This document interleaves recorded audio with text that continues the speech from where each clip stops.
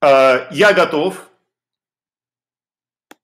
Еще раз большое спасибо всем, что вы пришли.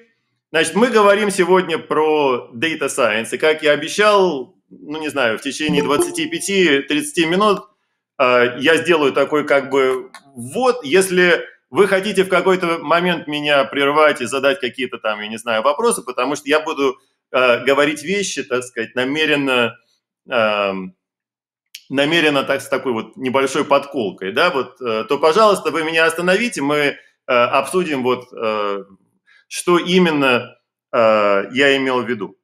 Значит, я хотел бы начать с достаточно простой задачи. Я эту задачу в группе Facebook запостил в...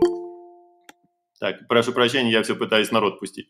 Э, в Perfect Match.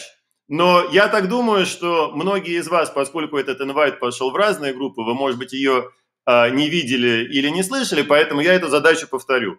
Значит, вы едете в казино. Значит, да, и почему я хочу э, про эту задачу поговорить, потому что, на мой взгляд, она совершенно замечательно иллюстрирует э, вот что такое data science, особенно когда вы возьмете эту задачку и посмотрите на еще две, которые стоят рядом э, с ней. Но давайте как бы про первую сначала. Да? Значит, первая задача. Она заключается в том, что вы едете в казино, в Вегас. И э, на входе в казино вы видите рулетку. Э, на рулетке есть табло. И на этом табло э, есть э, последние выпавшие 20 э, э, чисел э, на этой рулетке. Значит, вы смотрите на табло и видите, что последние 20 чисел все были красные. А, как вы понимаете, на рулетке там есть, во-первых, 0, который не красный и э, не черный. Да? А красных и черных э, чисел ровно пополам. Ну вот вы смотрите на табло и видите, что все, вот что на, на табло видно, это все числа красные. Вот их последних 20 было красных.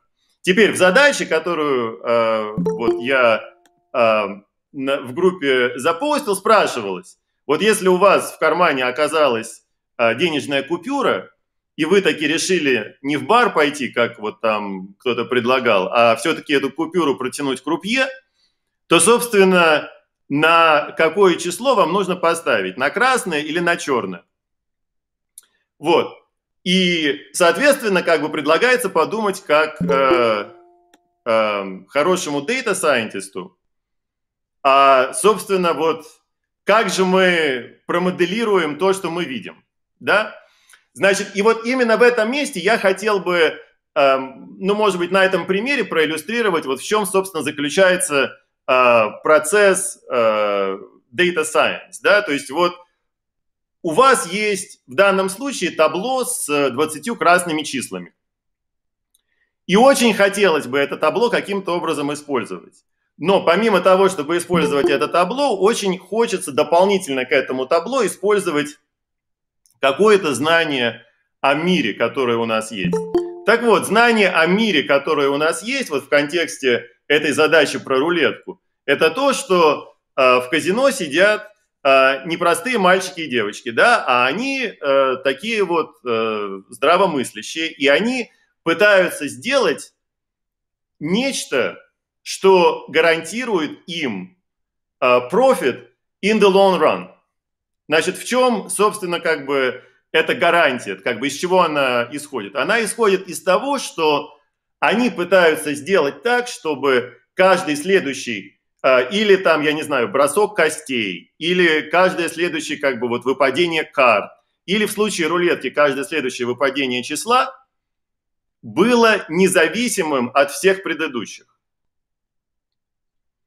Вы, вы, вы понимаете, да? Потому что если есть зависимость, то тогда кто-нибудь очень-очень плохой, ну вот кто-то из вас, например, да, ну или я, вот мы поедем с вами в Лас-Вегас – и вот мы поймем, что эта рулетка каким-то хитрым образом сломана, и мы поставим кучу денег, и мы выиграем кучу денег, и нам будет классно с вами, да? То есть вот в данном случае на самом деле было бы совсем не дурным предположение о том, что поскольку вы видите кучу красных, идущих одним за другим, один, кучу красных чисел, идущих один за другим, то рулетка каким-то образом испорчена.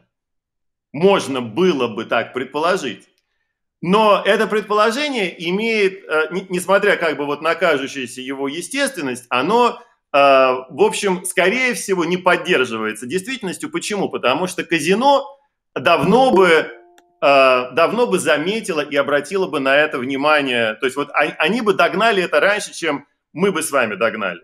Потому что они сидят и профессионально этим занимаются. Их задача не проиграть кучу денег, да? А если вдруг рулетка по очищанию испорчена, то они такие могут проиграть кучу денег. Поэтому они вот такие следят, да, что вот рулетки как бы выпадают случайные числа. Значит, теперь случайные, как, вернее так, не случайные, а независимые друг от друга. То есть вот как бы вот э, броски должны проходить тест на независимость, грубо говоря. Из этого, вообще говоря, следует одно интересное наблюдение, что в предположениях того, что рулетка э, исправно, и казино как бы вот давлеет над этим и обеспечивает независимость испытаний, то, что выпадет на рулетке следующий раз, вот как бы следующий исход, он, он вообще никак не зависит от этих 20 чисел, которые были на табло. Вы понимаете, да? Значит, и все, что, все, что на самом деле нам помогло вот в этой э, организации, да, это то, что мы что-то знаем про казино. Какие они там, не знаю, плохие, хорошие, вот чем они занимаются. То есть мы на самом деле вот в своем вот как бы э, мозгу Scientist использовали не только вот эти 20 красных чисел, но мы еще использовали существенно знания о том, в каком мире эти 20 чисел были получены. И я хочу подчеркнуть, что это чрезвычайно важное наблюдение. Потому что если бы вот это наблюдение о казино было бы, ну как бы, если его убрать из рассмотрения и сказать, что, о, я вижу типа 20 красных чисел, то тогда ответ на задачу был бы совершенно другой. И, собственно, это была вторая задача, которую я тоже задал вот в группе. Значит, задача была сформулирована так. Вот представьте себе, что вы подходите к э, такому большому чану, э, и этот чан мы называем гамбол машин, значит, и в этом чане вы не знаете, что находится, вы просто знаете, что там находятся шарики с жвачкой. И их туда сколько-то там, типа, тетя Нюра насыпала, да, вот когда-то там, не знаю, давно. А вы, поскольку только что выиграли в рулетку, вы подходите, соответственно, к этой гамбол машины, такие типа yes, вот сейчас как бы там куча гамболс, да, вы опускаете 25 центов, и вам попадает красный как бы шарик жвачки из гамбол машин. Вы опускаете еще 25 центов, еще получаете 25 центов, еще получаете красный. Так делаете 20 раз, вы получили 20 красных шариков жвачки. Теперь вопрос. А вообще вот первая ситуация и вторая ситуация, они как-то похожи или они как-то различны? Так вот, они похожи только тем, что было 20 красных шариков там и там. А на самом деле они как бы очень разные, потому что про рулетку на самом деле мы, как scientists, понимаем гораздо больше. То есть, во-первых, мы понимаем, что там помимо 20, ну, помимо красных чисел еще половина черных, то есть мы понимаем вообще из чего э, рулетка выбирает. Она выбирает там, не знаю, из одного или из двух нулей, которые не красные, не черные. И дальше там, не знаю, какого-то количества чисел, по-моему, 18, да? 18 а, черных, 18 красных. То есть вот это вот мы понимаем как бы пространство, из которого рулетка а, набирает числа. А в случае гамбол машин мы ничего не понимаем. В гамбол как бы машин было насыпано как бы куча этих шариков, мы как бы просто вот вытаскиваем один за другим, почему-то попадаются одни красные. Так вот, если бы вас спросили в случае гамбол машин, какой следующий шарик, то, ну не знаю, я бы, я бы, вот как бы, я как data scientist построил бы такую модель, да, в которой я бы сказал, что следующий шарик должен быть таки красный. В случае гамбол машин. Потому что я другого ничего просто не знаю, я ничего не видел другого. Ну то есть каждый из вас может построить свою модель, и, собственно, мы сейчас к этому придем через секунду. Вот, например, а, Надаш, ты можешь сказать, что, Дим, ну ты, конечно, классно все придумал, да, там типа ты 20 шариков красных пронаблюдал, но я точно скажу, что следующий шарик будет зеленый. Вот, а Света скажет, что он будет черный. и вы будете по-своему э, по-своему правы, да, ну то есть, ну единственное, что я вам скажу, что э, девушки, ну мы же не видели как бы ни красного, ни зеленого, а вы мне скажете, типа, ну и что, э, как бы, я думаю, вы мне можете сказать, что он там есть такой, да, и вот он следующий будет. Значит, в этом как бы нету правды и неправды, потому что у меня есть моя модель, а у каждого из вас есть своя модель мира, да, вот в котором по какому-то там типа закону происходит вот выдача шариков жвачки из гамбол машин.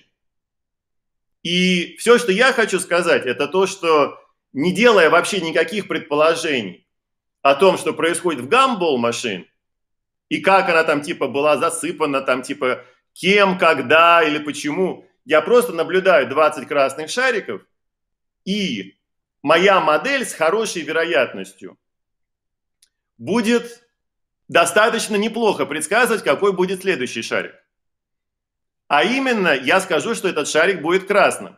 Но даже более того, когда и если я увижу какие-то другие шарики, которые появятся из гамбол машин, например, вот представьте себе, что следующий один появился черный, один появился зеленый, я эту свою модель могу перестроить, правильно? То есть я могу на самом деле сказать, что у меня было 20 красных, один черный, один зеленый, и на самом деле я все равно буду предсказывать красный, вы понимаете, да, потому что э, он все равно гораздо более вероятен даже если я пронаблюдал дополнительно к этим 20, один красный и один черный.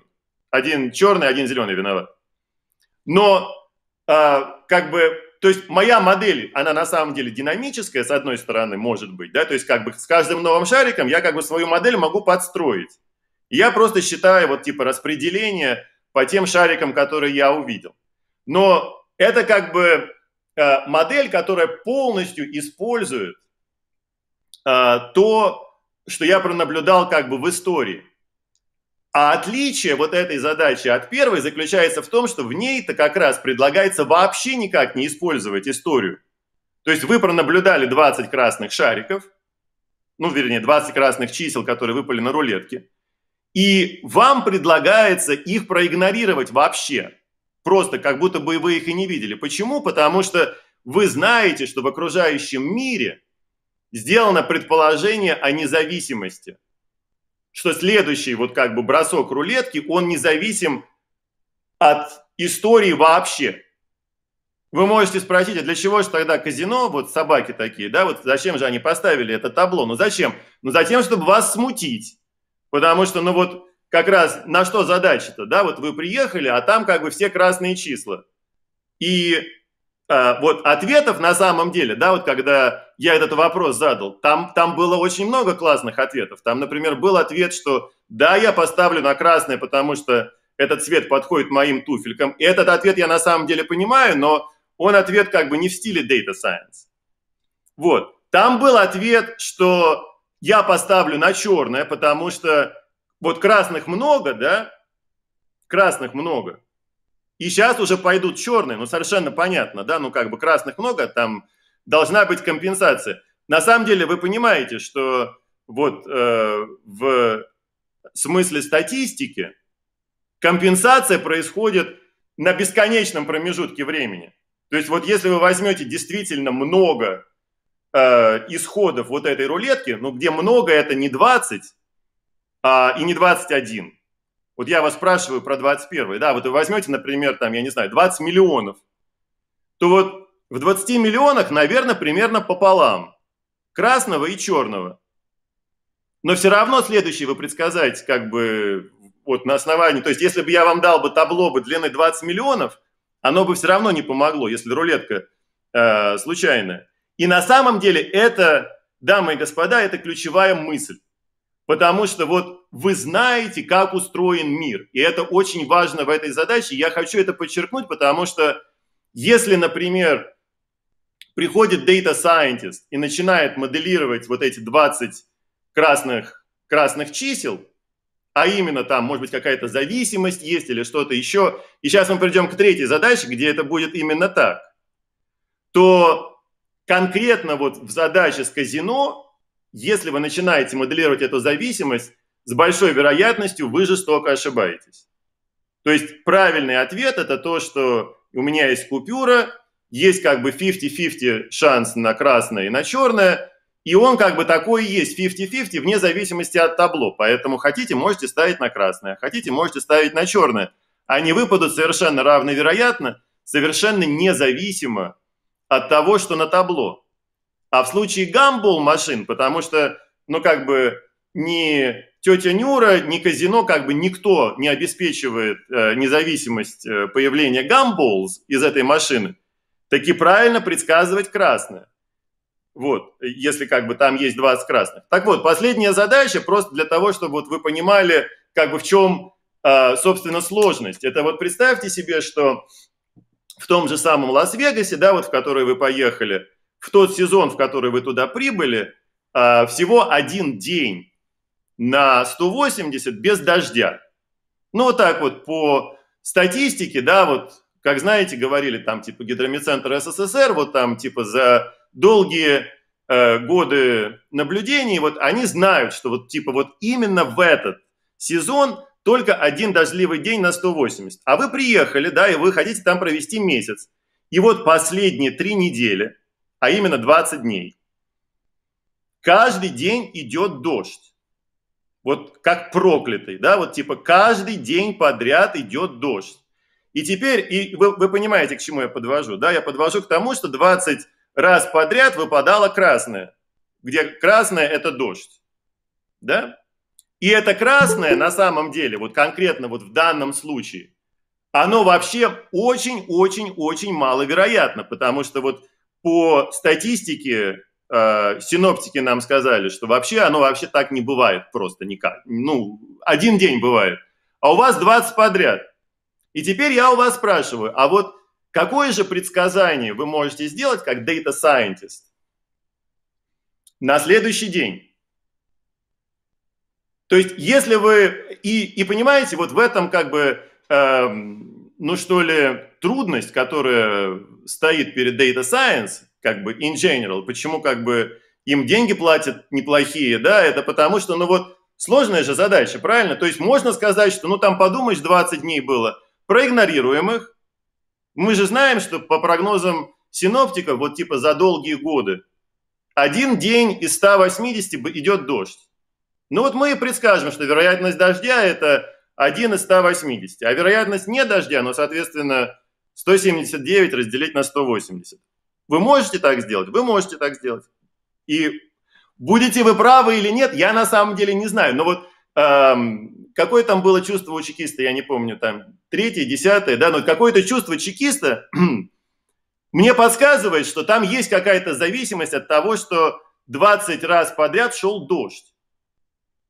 И идея в том, что вот как именно, и я не отвечу на этот вопрос, вот как именно вы эту зависимость будете использовать, но у меня есть ощущение, что эта зависимость есть, и что ее каким-то образом нужно использовать. И что если 20 раз подряд шел дождь, тогда, когда дождя в принципе быть не должно практически совсем, это означает, что, наверное, какая-то аномалия. И это означает, что, наверное, вероятность дождя не 1 поделить на 180, а она должна быть, ну, существенно побольше. А вот насколько существенно, зависит от того, какую модель вы построите. Так вот, из этих трех примеров я хотел бы сделать один обобщающий вывод, что что важно как бы в Data Science. Да, в Data Science важно пронаблюдать какие-то данные, на основании которых кто-то просит вас сделать какое-то предсказание. И э, хорошо, вот знаете, если э, это предсказание в таком духе, что, ну вот представьте себе, да, у вас есть, э, ну как бы такая плоскость, э, там есть э, y, и там есть x, и там как бы наброшен, набросаны какие-то точечки вот на этой плоскости. Что эти точки означают? Ну, эти точки означают, что вы как бы пронаблюдали что-то, да, вот как бы каждая точка, у нее есть координата x, координата э, y, x и y, я не знаю как, x, x и y, да, вот. И эти точечки как-то рассыпаны по плоскости. И теперь я вам говорю, э, вот вы, data scientist, проведите через эти точки прямую. Ну и вот я не знаю, сколько нас человек, давайте посчитаем. Нас 27 человек. Но у меня есть хорошее предположение, что если мы как-то задумаемся, то мы, может быть, будет несколько из нас, кто проведут эту прямую одинаково. Ну, потому что все мы учились понемногу, чему-нибудь и как-нибудь, да? То есть мы там знаем какой-нибудь э, метод минимальных квадратов там или что-то еще, но как бы не будем даже в это вдаваться. Но я просто к чему хочу сказать, что если каждый из вас проведет прямую, и эта прямая каким-то образом аппроксимирует вот процесс, который идет, да, который вот генерировал нам э, по, э, ну как бы из каких-то соображений вот эти точечки, то у каждого из нас будет в руках модель этого процесса. Причем никто не сказал, что он был линейный, да, ну то есть он мог быть там какой-то. Но я попросил вас провести прямую, каждый провел прямую. Ну и теперь э, мы можем устраивать, ну практически таракани бега, да, вот чья типа модель лучше. Потому что дальше появляются какие-то точки, вот, которые этот процесс генерирует в будущем. И чья-то модель предсказывает лучше, а чья-то модель предсказывает хуже. Выигрывает тот, чья модель предсказывает лучше, ну там, не знаю, на каком-то объеме новых точек. Так вот, Data Science Exercise в общем случае, он состоит в том, что пронаблюдали э, вот какие-то данные, ну точки в данном случае, да, или вот там типа красные шарики, которые появились там из рулетки или из гамбол машин, или там какие-то дожди, э, которых там дол- не должно было быть в Лас-Вегасе.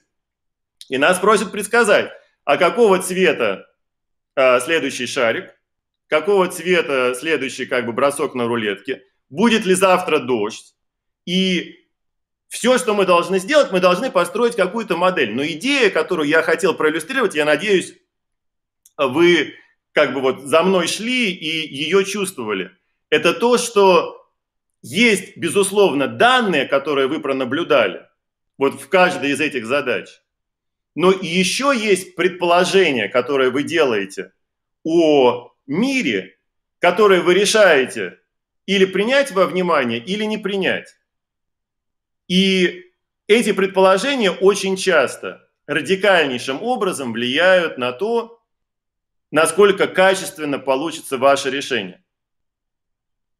И в частности, если, например, в задаче с рулеткой вы бы полностью проигнорировали тот факт, что рулетка находится в казино, а казино находится в Лас-Вегасе, и казино, ну это вообще какой-то бизнес, который пытается заработать на нас, на всех деньги, возможно, дав нам э, какой-то за это entertainment, то с хорошей вероятностью э, вы бы ошиблись достаточно сильно, пытаясь просто сделать предсказание на основании данных, которые эта рулетка сгенерировала.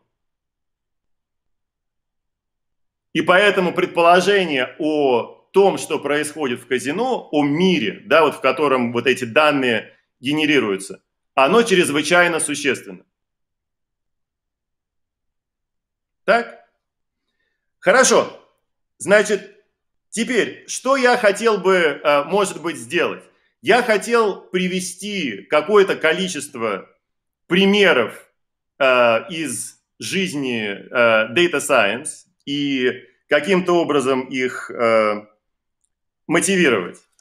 Значит, и Пример, который, с которого я хотел бы начать, это вот представьте себе, э, может быть, некое такое приложение к э, e-commerce.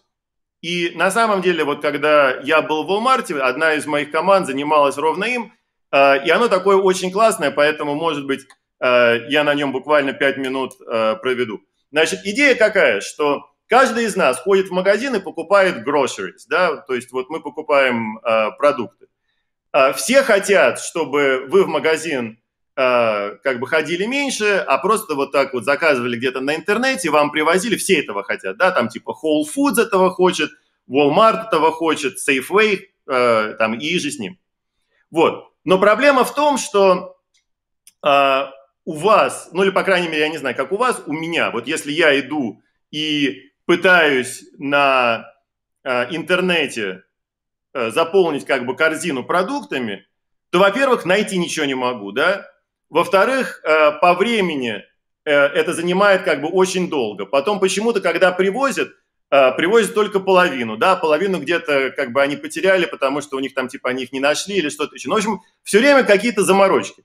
Так вот, хочется, чтобы все это было как-то, ну, проще и быстрее, главное, да, чтобы вот э, всей вот этой как бы э, галиматьи, ассоциированной как бы с поиском там, не знаю, того, э, тех товаров, которые мне нужно положить в корзину, чтобы вот этого ничего не было.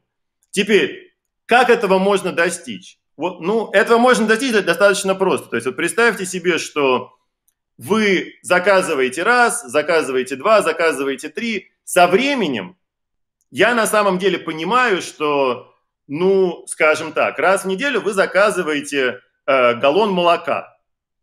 И молоко вы заказываете двухпроцентное, э, какого-нибудь там, не знаю, специального бренда, оно должно быть органическое. То есть я, грубо говоря, знаю, что вы заказываете с какой периодичностью. Но это только при условии, что вы Э, делаете вот эти заказы у меня, а не ходите там куда-нибудь, в какой-нибудь там, не знаю, Trader Joe's, да, или там в какой-нибудь Костко, а, а вот вы как бы стабильно приходите ко мне, и я накапливаю вот а, сведения о том, что и когда вы покупаете. На самом деле, а, я считаю, что вот как бы важно очень понимать, что когда мы идем и у кого-то что-то покупаем, там, я не знаю, то ли groceries, то ли не groceries. На самом деле о нас, вот эти люди, которые с другой стороны экрана сидят, они на самом деле очень много узнают. Да?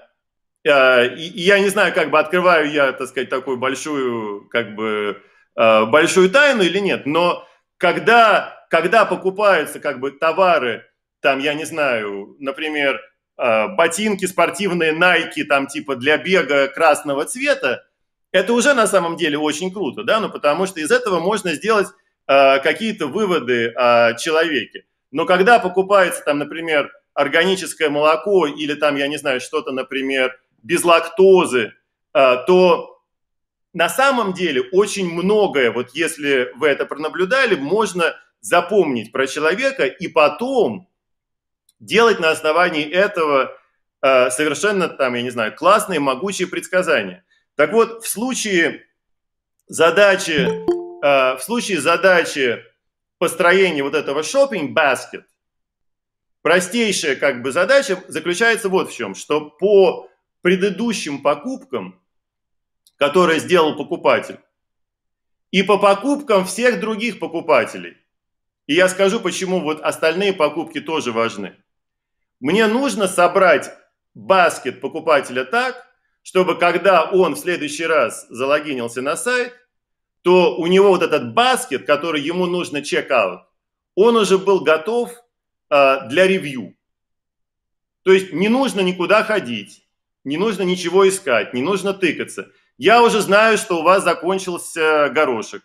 Я знаю, что вы любите, там, я не знаю, какой-нибудь канадский бекон, да, и какой-нибудь органический, там, я не знаю, whole grain, bread там какой-то. Ну, то есть, понимаете, я это знаю.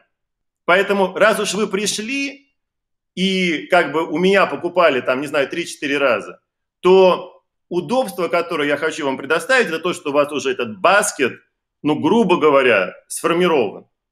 И что вам осталось сделать? Это осталось просто по этому баскету пройти и сказать, так, вот это все как бы looks good, на самом деле мне не нужно подсолнечное масло, потому что почему-то я не успела его типа использовать, но мне нужны дайперсы, например. Там типа бац, добавили дайперсы, сделали чекаут и вуаля, да, ехать никуда не надо, парковать машину не надо, идти от парковки не надо, искать не надо, по магазину час ходить не надо, э, все привезли. Ну, если бы еще как бы supply chain работал хорошо, да, и э, там сказали, что, например, есть йогурт, и он таки оказался, было бы еще класснее. Вот, но это уже там типа другая задача. Почему, э, когда вы заказали йогурт, да, и система пошла и проверила, что он таки есть. Почему его в итоге не оказалось, об этом тоже можно отдельно поговорить, но я не буду про это говорить. Так вот, идея в том, что если, например, вы сделали чекаут этого баскета, например, за 15 минут, а 15 минут – это сколько вам нужно было ехать до магазина в одну сторону. то вообще на самом деле это чрезвычайно круто, потому что, ну, вы как минимум час, я бы сказал, сэкономили. Теперь, насколько вот эти 15 минут, за которые вы можете сделать чекаут баскета, там, я не знаю, хотите на Whole Foods, хотите э, на Walmart, насколько это близко к реальности. Но вот по моим наблюдениям это очень далеко от реальности. То есть э, вот по-прежнему э, коллективу нужно работать над э, построением правильных, гораздо более точных моделей.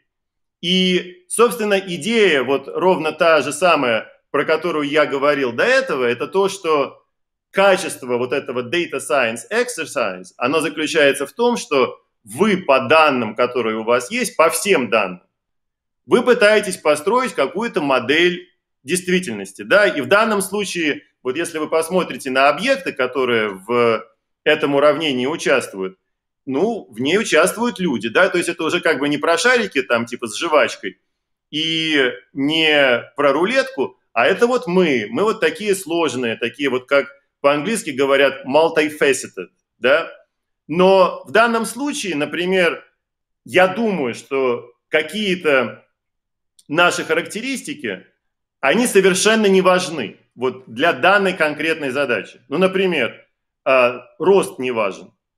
Да, вот э, типа, представьте себе, что мы бы знали вот переменную, да, вот человек э, такого-то или другого роста заказывает, э, э, заказывает гроши. Ну, наверное, не важно, да?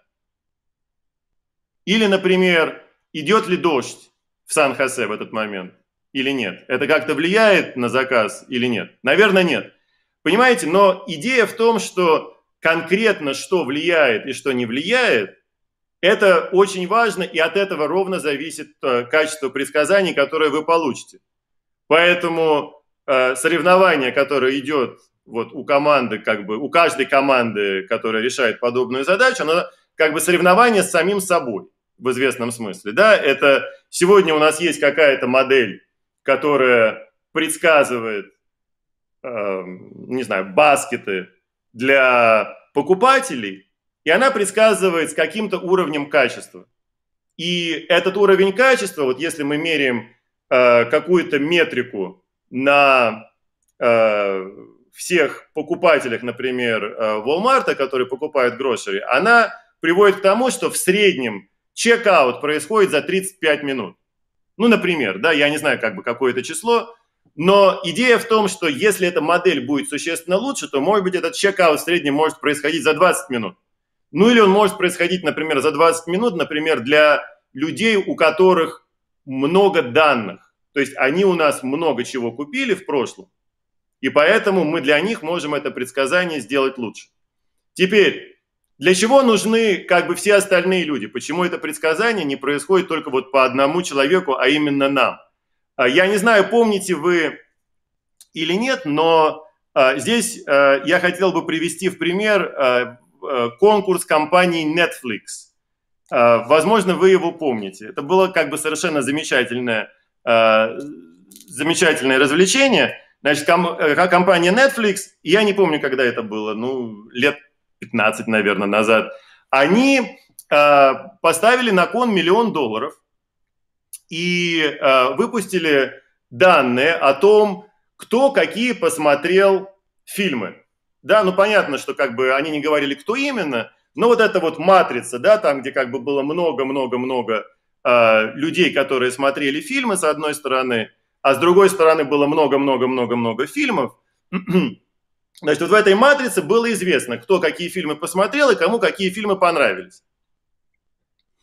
И какие-то вот в этой матрице э, значения, они были э, специально закрыты э, с той целью, чтобы их потом использовать для тестирования. И компания Netflix сказала следующее, что вот давайте, э, уважаемые дамы и господа, постройте модели – и предскажите нам, вот, кому какие фильмы понравятся из тех, что они не видели. А мы потом проверим, соответственно, на э, тех значениях, которые мы закрыли. То есть вы понимаете, что произошло, да? Я как бы еще раз повторю. Произошло следующее. Они на самом деле знали, что вот, например, я посмотрел Kill Bill, и мне понравилось. Ну, там, понятно, Ума Турман была, да, и Люси Лю, ну, как бы, как это могло не понравиться, там, типа, все мечами махали. Но они, они специально, вот, ну, например, в данном случае для меня, вот это значение закрыли. И поэтому вам оно было недоступно. Но модели, которую вы построили, предлагалось предсказать, понравится мне или не понравится вот конкретно этот фильм. Ну и как бы про другие фильмы то же самое. Там, да, там Pulp Fiction. Э, вы понимаете, что я иду по Тарантино, э, поэтому вот э, одна из, как бы одна из, одна из подсказок, да, это то, что э, Дмитрию нравится Тарантино. Вот. Э, но идея в том, что, ну, как бы бог с ним, с Дмитрием, там на самом деле полно, полно, как бы, э, полно людей, и нужно было просто предсказать, кому что понравится. Так вот, э, были такие люди, которые достаточно существенно э, алгоритм, который был у Netflix с точки зрения предсказания, они его улучшили. И они получили миллион долларов. И что было интересно, это то, что модель, которую они построили, это была как бы такая дикая совершенно модель, которой были разные как бы маленькие модельки, каждая из которых там типа моделировала что-то. Ну, например, э, там была модель, которая по, э, ну, как бы строила, например, вот какую зависимость. People who viewed this movie, or, no, take it back. People who like this movie also like that movie. Вы понимаете, да, это как бы простая модель. И если вы пойдете куда-нибудь на Amazon, то вы на самом деле очень часто вот видите именно это предсказание, где вам Amazon говорит, что люди, которые купили, там, я не знаю, эту э, чашку, они еще и купили эту ложку. Вот давайте вы купите чашку и ложку, и даже там, я не знаю, какие-то сайты могут вам дать какую-то скидку за это, что если вы купите чашку и ложку вместе. Так вот, вот это как бы такое некое тривиальное предсказание. Они построили много предсказаний подобных, и потом их все осреднили заработали миллион долларов. Так вот, идея в чем? Что для того, чтобы построить модель э, в стиле люди, которым понравился Pulp Fiction, им тоже понравился Kill Bill, для этого таки нужно знать всех людей. Понимаете, да? То есть вот как бы нужно посмотреть на всех людей, чтобы вот э, подобное предсказание сделать.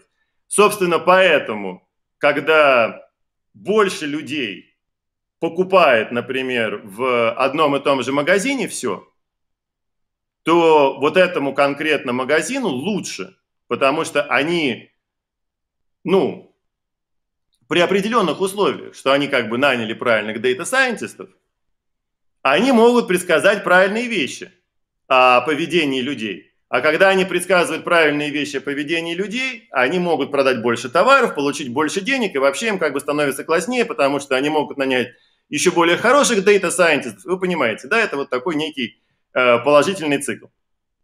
Значит, теперь, я на самом деле вот на этом этапе уже говорю 40 минут, поэтому я сделаю, может быть, следующее. Я э, сделаю такое как бы очень большое утверждение э, и приведу несколько примеров. И, может быть, на этом поставлю э, такое типа три точки с тем, чтобы, ну, я не знаю, мы могли как-то обсудить и поговорить. Значит, утверждение следующее. Э, я его сделаю на английском языке. Data science is everywhere. И это вообще э, как бы удивительная на самом деле вещь. Э, я вовсе не считаю, что data science это какой-то такой универсальный молоток. И что, знаете, вот есть такая фраза, что когда у вас есть молоток, все кажется гвоздем. Вот. Мне вовсе так не кажется, да, то есть мне не кажется, что все в этом мире гвоздь а Data Science – это некий универсальный молоток. Вот, но за, там, не знаю, последние 20-25 лет, как мне кажется, количество приложений, в которых Data Science э, нашло применение, оно просто вот mind-boggling, то, что называется. И поэтому я хотел бы привести э, примеры, да, вот чтобы вы просто оценили э, как бы высоту и дальность полета. Значит, а, первый, да, а, первое приложение – это представьте себе, что вот едет трактор, я, я понимаю, да, то есть это вот как бы вот совсем э, уже вот э, из какой-то такой области. Трактор Джон Дир, который вообще, я не знаю, он когда-нибудь знал там типа про Data Science или нет, вот. Но идея в том, что этот трактор очень часто используется для того, чтобы разбрасывать там, я не знаю, удобрения, пестициды и так далее. Так вот, оказывается, что если этот трактор э, снабжен какой-то вот такой специальной оптической, ну скажем, приставкой, которая может разобрать, вот где находится эта вот маленькая растеница, то она, этот вот пестицид, это удобрение, она вот очень точечно вот ему как бы туда вот под корешочек вливает, и оказывается, что растению хорошо, природе хорошо, всем хорошо, потому что тратится гораздо меньше удобрений пестицидов. Значит, а что лежит в основе? В основе лежит э, некая такая камера, которая делает э, оптическое распознавание того, где же находится это растение. Э, понимаете, да? То есть да, и приставка это вот, uh, если вы когда-нибудь покупаете машину, да, то там вот есть такие вот типа packages, да, то есть вы можете купить машину, которая просто вот, грубо говоря, едет, и там типа стекла нужно открывать руками. А можете купить машину там такую вот навороченную. Так вот, этот трактор, он навороченный. То есть вот там есть такая вот Data Science распознавалка, и она стоит там каких-то, до самом деле, нехилых денег. Второе приложение.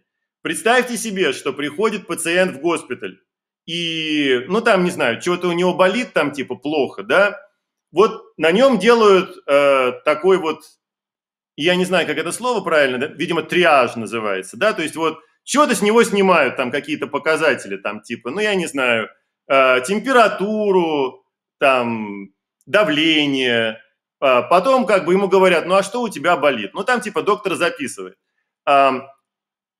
Вы понимаете, что вот диагностика, она на самом деле как бы в общем случае очень тяжелая. А, не буду рассказывать эту историю, потому что она длинная, но вот у меня есть история, когда я с профессором Стэнфорда, вот находясь просто вот в одном таком найтгауне, мы с ней вместе читали э, Википедию в 7 часов э, вечера в, э, в Стэнфорде, да, и я ей говорил, что спасибо, что вы проводите со мной вечер, это как бы совершенно, совершенно как бы замечательно, вот, но Идея в том, что она как бы диагноз ставила вместе со мной, читая Википедию.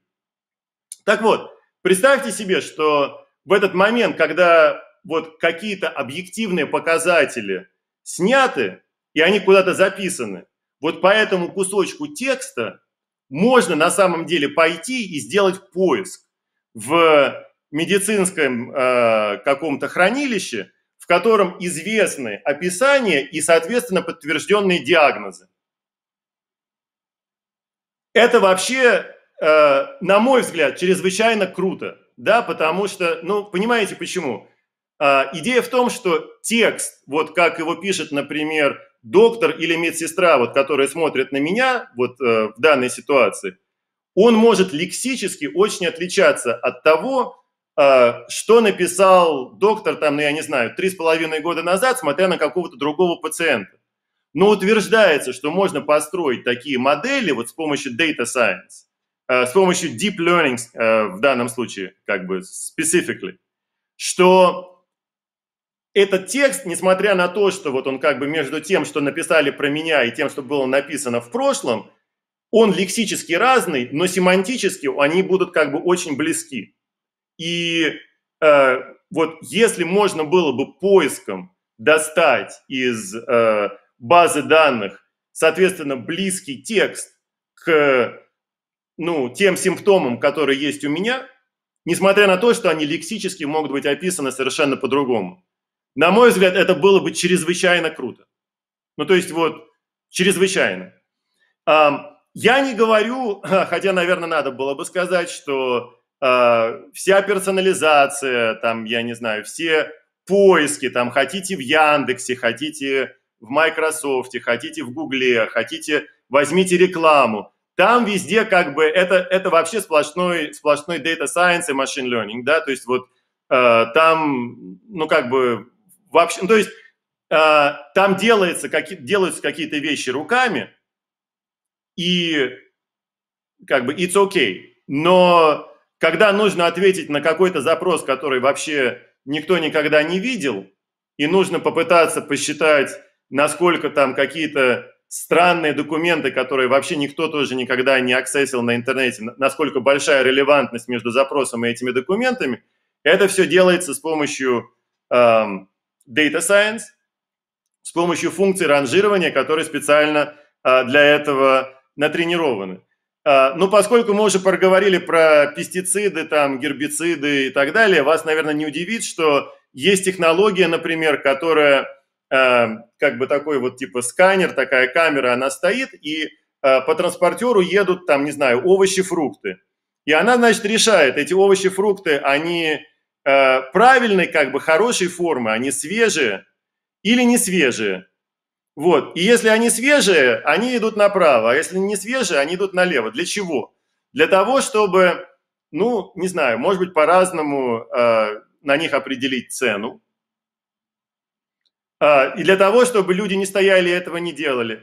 Значит, почему это круто? Но ну, если вы подумаете, то как бы овощей и фруктов, ну, их как бы, ну, немалое количество, да?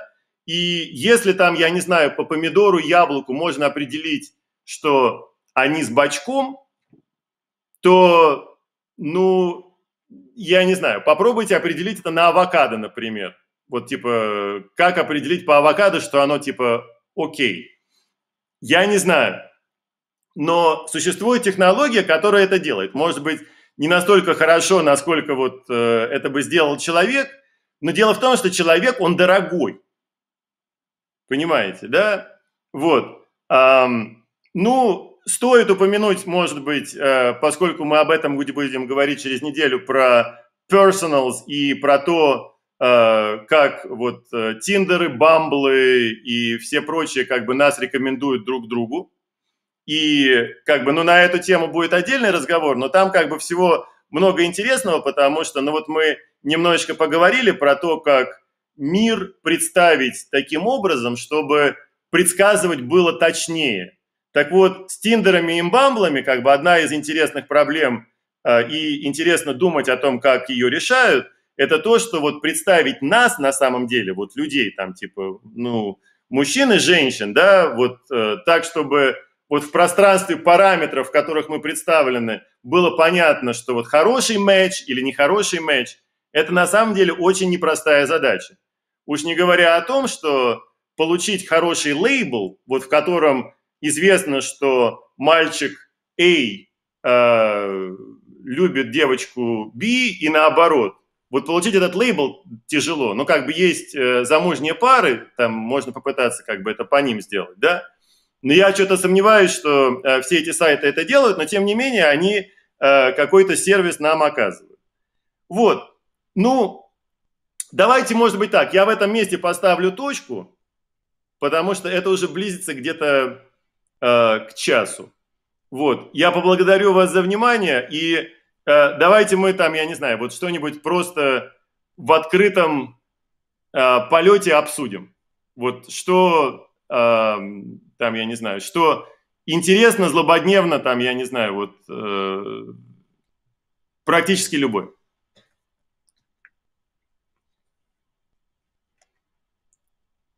Реально ли работу найти а, дата-аналистом после курсов без какого-либо математического там, и вообще технического образования? Например, бэчелор, в экономике и курсы, ну, там, полугодовые, например. А, то есть, э, как это вообще на рынке труда оценивается? Свет, этот вопрос очень сложный. Значит, я, я считаю, что реально работу найти всегда. Вопрос лишь в том, как бы какая, а, какая вероятность, да? Значит, я а, как бы отвечу на него, может быть, а, таким образом, что у каждой позиции есть требования. Я считаю, что имеет смысл понять, какие требования на вот entry-level data science position. И не data science, аналист хотя бы, не science. Я понимаю. Не... Ну вот э, смотри, мне кажется, что вот ты просто идешь и берешь эту позицию, да, вот типа вот как она определена. И пытаешься понять, вот, э, типа, какие из э, требований удовлетворены, какие нет. Я думаю, что это можно сделать как бы достаточно э, транспарентно. Если хочешь, можем как бы посмотреть э, отдельно вот как бы в офлайн. Да, мне просто было интересно, насколько смотрят на образование в этом случае. На ты дипломы. Ты знаешь, э, очень часто происходит следующее, что человек, у которого есть какая-то подготовка по Data Science – ему вот зададут какую-нибудь э, подобную задачу. Ну вот, значит, и, и дальше на самом деле вот из нее, ну как бы очень сразу много понятно. Ну и как бы я, может быть, скажу следующее, что вот э, эта задача, например, про рулетку, ну как бы ее люди с PhD не решают. И я, и я тебе могу много как бы примеров привести задач, которые люди с PhD не решают, но тем не менее как бы ну вот э, у них у них все есть э, как бы в руках, поэтому я считаю, что как бы ну вот по мотивам как бы моих предыдущих как бы рассказов, да, бояться ничего не нужно. Надо просто вот как бы с открытым забралом ты берешь эти позиции, да, и говоришь вот такие-то requirements, значит, э, в каких-то там, я не знаю, в каких-то пунктах ты понимаешь, что тонко, готовишься, и просто идешь на это интервью. Как бы вот в стиле Джонни Деппа, как бы с идеей того, что типа I will have fun no matter what. Вот. И, и дальше на самом деле все будет классно, потому что когда ты сходишь на одно, и ты его пройдешь, ты скажешь, ну типа вообще как бы это была какая-то фигня, все нормально. Или ты, не, или ты сходишь как бы на 10, но ты за эти 10 ты научишься так, как ты не научишься как бы ни по какой книжке. И это значит, что как бы 11 будет нормально. И вообще я считаю, что интервью, как бы вот э, просто чтобы подчеркнуть, это как бы жирным фломастером. Это совершенно замечательный способ э, научиться э, его проходить. Особенно если оно тематическое, например, на аналиста, ты как бы через один, два или три раза, ты совершенно четко поймешь, что они спрашивают. Ты четко поймешь, в каком месте, э, может быть, нужно подложить соломку. Ты ее туда подложишь, в следующий раз ты поймешь, что соломку нужно было подложить в какое-то еще место. Оно, возможно, было не одно. И, ну, итерируем. Свет, свет, свет, без, а, абсолютно без проблем. Это чрезвычайно востребованная э, вещь. Я считаю, что если ты можешь показать себе, что ты как бы этому можешь научиться, как бы, а у меня сомнений вообще нет никаких. Так же точно так же, как и у тебя их не должно быть. То как бы все, да, ну то есть как бы done deal. Э, как бы вопрос лишь только в том, типа вот за какой промежуток времени. То есть твой вопрос был, реально ли? Ответ – да.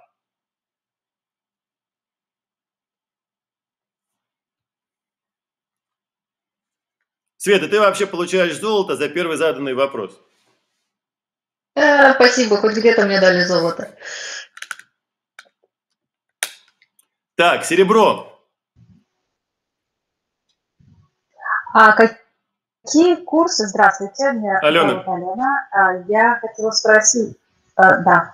А какие курсы вы рекомендуете пройти, чтобы получить э, вот образование Data Science? И как долго вы считаете адекватно а, обучаться на Data Scientist?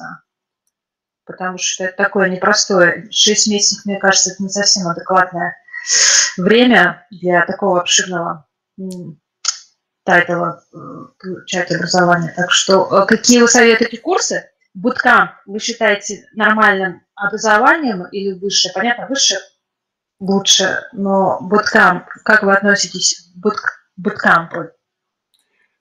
Алена, Алена, смотрите, я, вот. я ко всему, смотрите, я, может быть, не совсем правильный человек, чтобы рассказывать про курсы. Я могу вам сказать, на какие курсы ходили люди у меня в команде. Они ходили в Стэнфорд, и они э, брали, брали какие-то курсы там, я знаю, что они там дорогие.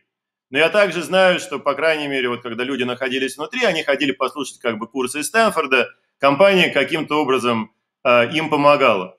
Значит, я считаю, что э, в интервью как бы и в адекватности, вот э, про которую вы э, говорили, я считаю, что главное как бы в этом деле уверенность.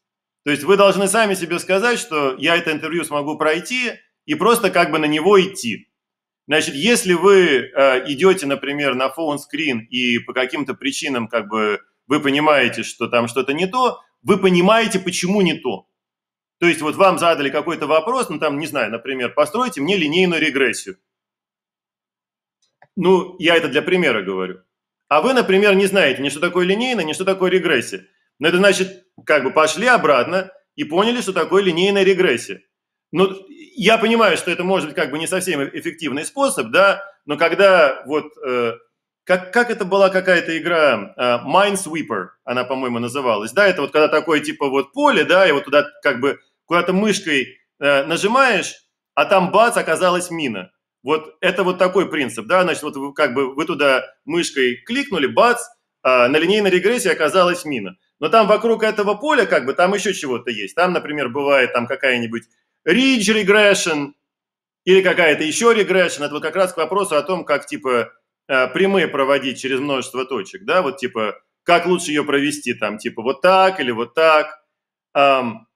Значит, ну, я не знаю, мне на самом деле такие вопросы давно не задают, и я знаю, что я на них бы, наверное, тоже бы уже не ответил бы, хотя вроде бы все это знал в какой-то момент.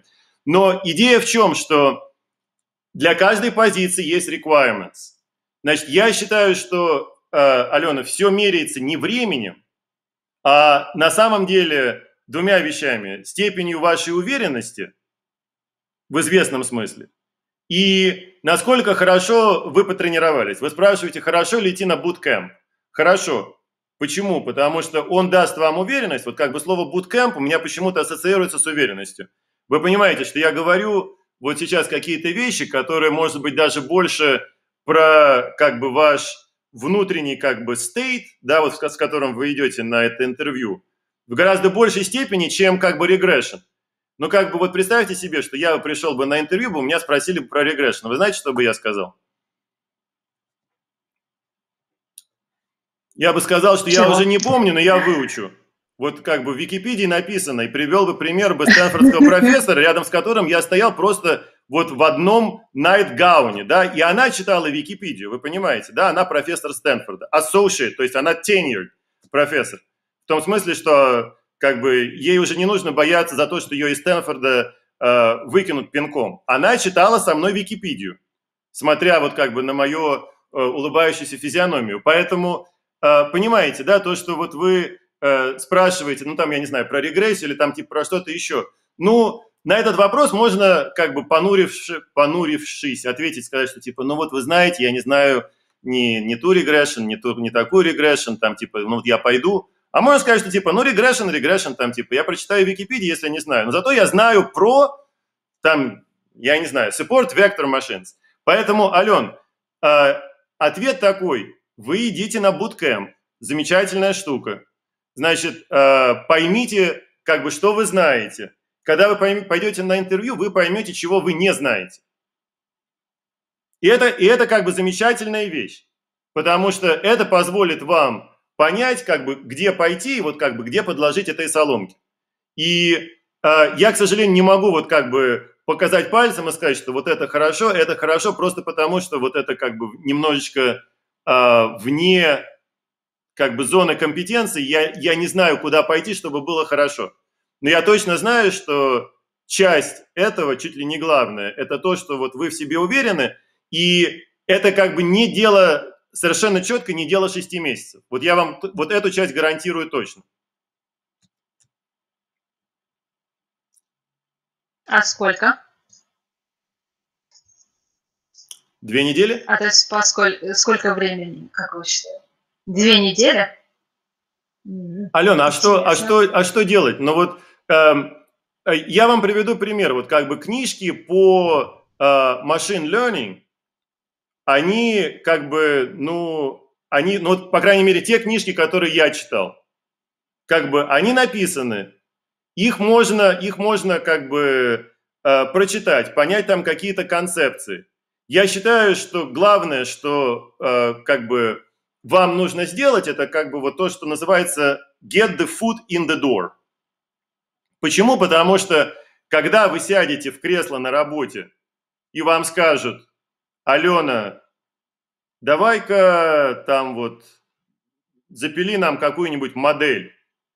Я уверен, что вы пойдете и ее сделаете. Почему? Потому что э, вот для вас это будет важно. Вы пойдете там, не знаю, Википедию почитаете, там, не знаю, или возьмете помощь друга, или там, ну то есть, понимаете, вот у меня фактически нет никаких сомнений в том, что оно произойдет. Но э, как бы вот через этот как бы клифф через него нужно пройти, в том смысле, что вам этот foot in the door нужно, ну, как бы доказать, что вы сможете эту модель построить. Это все, что нужно. Потому что когда вы сядете в кресло на работе, вы эту модель построите. Вы верите мне, Алена, что вы эту модель построите? Вот если, если я вас попрошу сейчас, вот прям вот сходу, построить модель, там, не знаю, чего-нибудь, вот представьте себе там я не знаю, что... Вот, хорошо, давайте, давайте вот такой пример. Вот э, вы приходите на интервью, да, а я вам задаю такой вопрос. Вот э, у вас есть э, кастомер такой вот один, который, э, известно, купил в магазине Nike красные running shoes. И теперь вот он приходит второй раз, там, не знаю, спустя месяц, ему нужно показать какие-то Product Recommendations. Какие Product Recommendations вы ему покажете, если вообще неизвестно ничего? Ответ. Очень просто, правильно?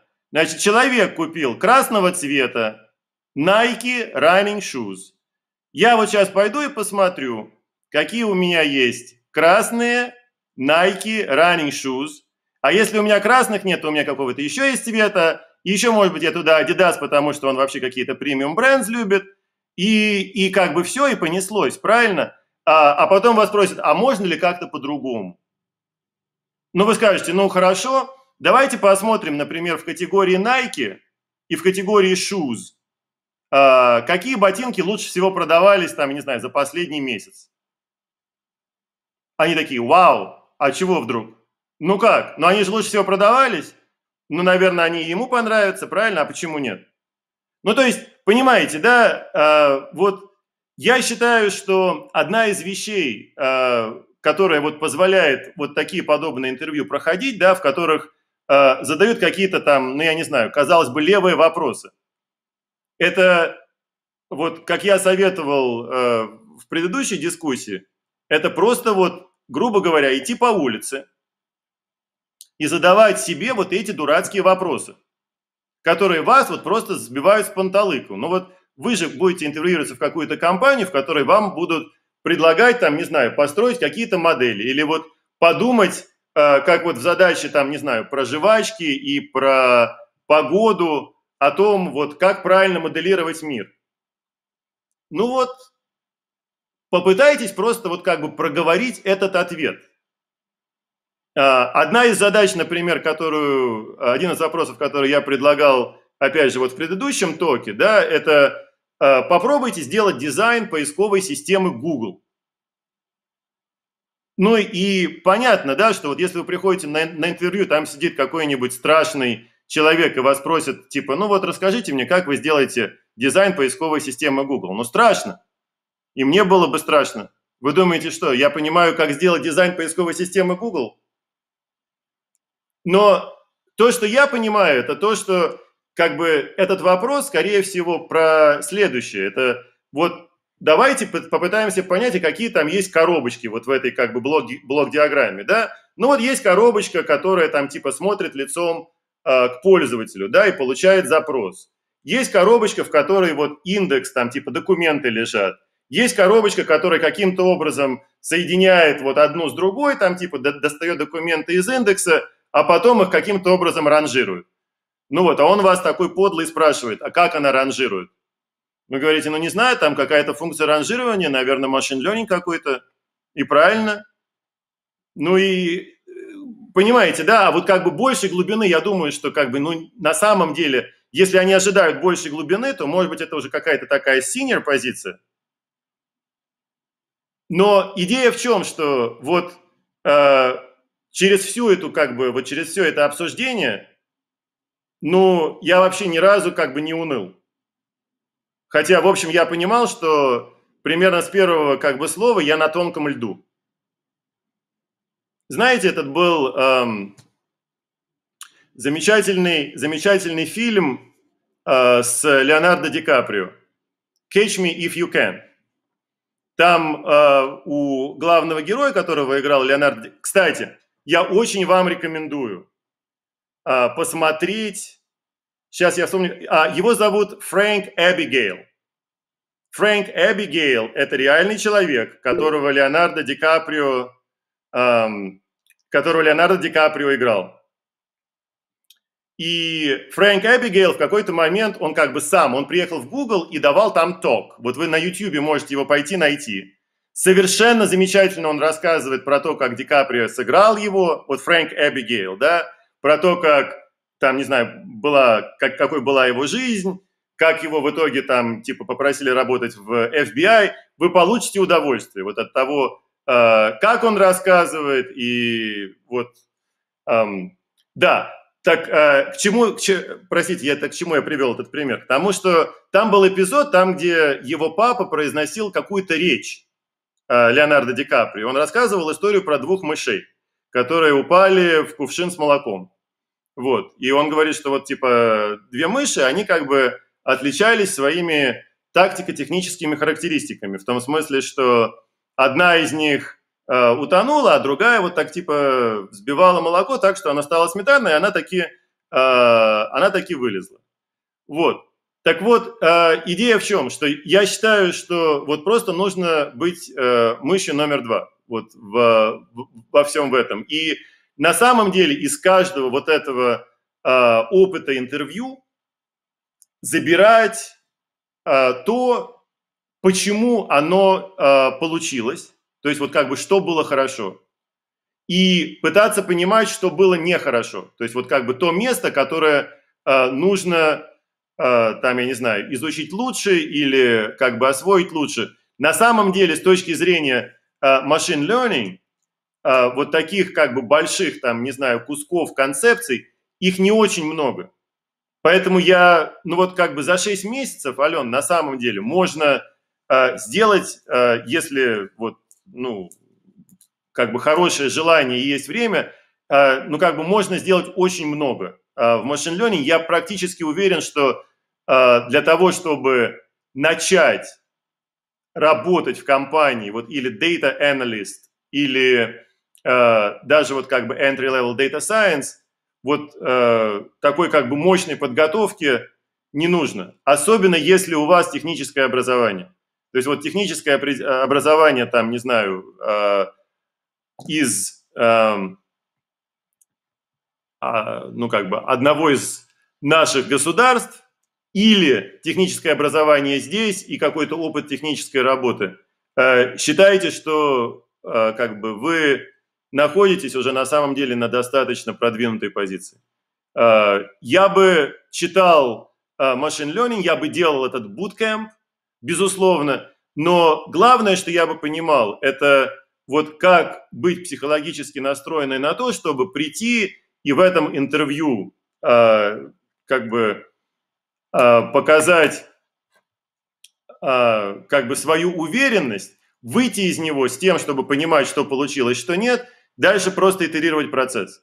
То есть востребованность в Data Science настолько большая сейчас, что я думаю, вы очень быстро поймете, э, как бы, где тонкие места, которые нужно, э, которые нужно, ну что ли, сделать, сделать лучше, которые позволили бы, позволили бы вам получить эту работу. А, Дима, у меня есть вопрос. Э, ты предлагаешь метод, ну, как э, опыт, ну, то есть сходить на интервью и пробовать, да. А, ну, вот на самом деле э, у нас очень маленькая, ну, может быть, не надо это делать там, где мы живем, может быть, пробовать в каком-то другом регионе, вот, ну, пока мы учимся. Аня, люди, а, люди ходят на интервью, э, это как бы известный феномен. Люди ходят на интервью, чтобы научиться проходить интервью. Вот, э, и... Я понимаю, там они же записывают, они же записывают, у них там есть рекорд, что ты сказал, и потом ты себе как бы испортишь на будущее. Не... Но этих компаний же не так много, которые рекрутерские, которые, ну, как бы, куда мы ходим. Ну, может быть, ну как, как а может быть, не стоит этого делать там, где пока ты учишься, тренироваться где-то в других местах, регионах, не в Бэре, как ну, но я, я, не, я не знаю, Аня, то есть, ну, то есть можно, но как бы вот здесь точно горячо. Здесь точно горячо. То есть все-таки да? Не, ну, как бы какая идея? Я как бы предлагаю делать две вещи. Я предлагаю готовиться самому, я предлагаю ходить на буткемпы, я предлагаю ходить на интервью. Я не предлагаю не делать первого и второго, а сразу идти на интервью. Ну, то есть, понятно, да, что вот если я, например, пойду сейчас на интервью, там, я не знаю, по химии, ну, как бы можно, можно даже не ходить. Ну, то есть я что-то помню, но как бы на таком уровне, что точно можно не ходить. Вот. А, ну, естественно, нужно как бы какой-то э, как бы орешек знаний расколоть.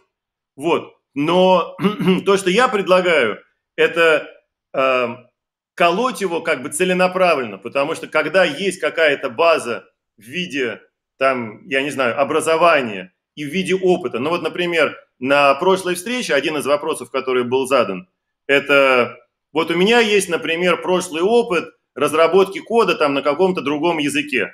Там, я не знаю, Кабол, Fortran, там, я не знаю, C. Да, вот теперь там, не знаю, всем нужна там Java, Scala и так далее. Нужно ли мне про это писать?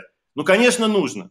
Ну, потому что вот это как раз важно, да, то есть как бы это человек, у которого есть э, четко вот самый, тот, тот самый опыт. Нужно ли знать Java, если в позиции написано, что она requires Java? Да, нужно знать, ну, потому что как бы если Java нет совсем, то как бы, ну, по requirements, э, ну, есть э, определенное несовпадение. Я считаю, что в случае data science – очень часто бывает так, что вот как бы конкретные requirements, которые есть, значит, или в случае как бы uh, data аналитики, значит, на них просто нужно читать, что в позиции как бы написано, что в позиции требуется. И пытаться понять, вот насколько uh, свободно вот в рамках этих requirements вы, uh, вы можете оперировать. И не бояться, не бояться идти на это интервью, потому что uh, вот эта позиция, она сегодня есть, завтра ее не будет.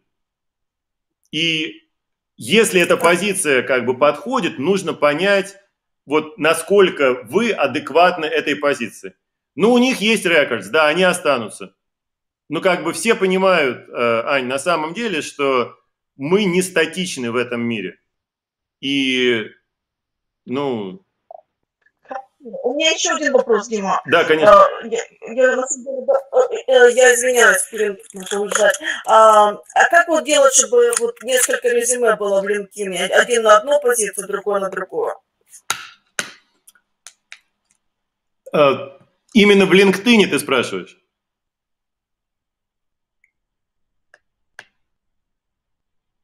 Я не знаю. Такой можно делать в LinkedIn? Я вот, я, вот, я вот вижу головы, которые качаются вот в горизонтальном направлении, а не в вертикальном. Значит, э, что, видимо, означает, что, ну... Не, ну смотри, как бы резюме, понятно, э, если его написать э, как бы не в LinkedIn, то его можно адаптировать и, видимо, нужно адаптировать под конкретную позицию. Я считаю, что это очень хорошо смотрится, когда резюме и позиции, они как бы находятся в, ну, в известной, в известной э, доле координации. Вот. Но как это сделать на LinkedIn, э, я не знаю, и судя по, э, по ответам, которые я пронаблюдал, наверное, это и невозможно. То есть на LinkedIn есть какой-то как бы профайл, который покрывает э, ну, как бы рабочую историю, да, и опыт. Вот. А резюме, видимо, что-то похожее, но не совсем. Лен, ты хотела... Да, я хотела добавить, эм, что я делаю обычно. Ну, мы все, у нас профессия. Если вы, если вы ищете работу, вы примерно ее где-то более, это, это ваша профессия, более или менее, там может, могут позиции отличаться, но это то, что вы делаете. Что я делаю, если я, например, вижу job description, мне очень нравится позиция, я просто беру предложение оттуда из requirements и ставлю свое, э, в свой профайл, ну, потому что у меня, например, есть в этом, э, э, например, в каких-то вещах опыт работы, но я об этом не упомянула в своем LinkedIn профайле. То есть, когда рекрутеры ищут работников, они прям делают эм, search по словам, по keywords. И если у вас, у вас эти keywords будут встречаться в вашем профайле, вы всплывете в их поиске. Вот. И, в общем, они, естественно, им очень понравится, если там, например, не какая-то позиция открыта, а у вас там, например, четыре каких-то requirements есть. Ну, естественно, все прям так копировать не надо, слово в слово, нужно как-то изменить предложение, но смысл, чтобы был э, тот же самый. И это очень помогает. Еще насчет резюме, ну, в LinkedIn нельзя сделать там 5 или 5, 5 каких-то профайлов, надо сделать один такой универсальный, чтобы вы всплывали там в разных серчах по разным keywords. А если вы делаете резюме, то и где-то какие-то базы данных помещаете эти резюме, что делает народ? Так как все делают э, String Search, в основном все эти рекрутеры, например, если они ищут резюме просто в интернете, что они делают? Они используют keywords. И, например, вы в, свое, вы в свое резюме, вы хотите, чтобы оно всплывало как можно чаще, но, естественно, а, резюме там должно быть одна страница или полторы, и вы всего там не сможете вместить. Что народ делает? Они берут вот, э, где хеддинг и футер, делают очень маленький и делают белым шрифтом, keywords пишут. И дел, их не видно, если смотреть на резюме само. Но ваше резюме будет всплывать в серче рекрутеров, если оно где-то сидит а, в пространствах интернета всегда. То есть это тоже такой лайфхак. А, вот. Голь, голь на выдумке хитра. Это, это не то, что я э, спрашивала. Например, э, когда-то давно я, например, искала работу и на QA, и на программиста, да?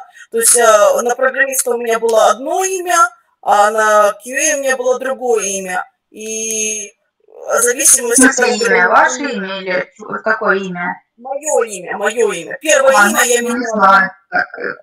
Вот. Но сейчас очень тяжело, как бы, ну вот я имею в виду, что у меня одна специальность, да, а я там начинаю на какой-то data entry, а, data science, э, data entry, это когда давно работаю, извиняюсь, а, data science, и как бы не хочется, чтобы оно попадало во все базы, да, потому что ну, вот такого, в таком смысле, что вот какой-то есть трик обмануть систему, обхитрить систему в настоящее время, что никому не занимал.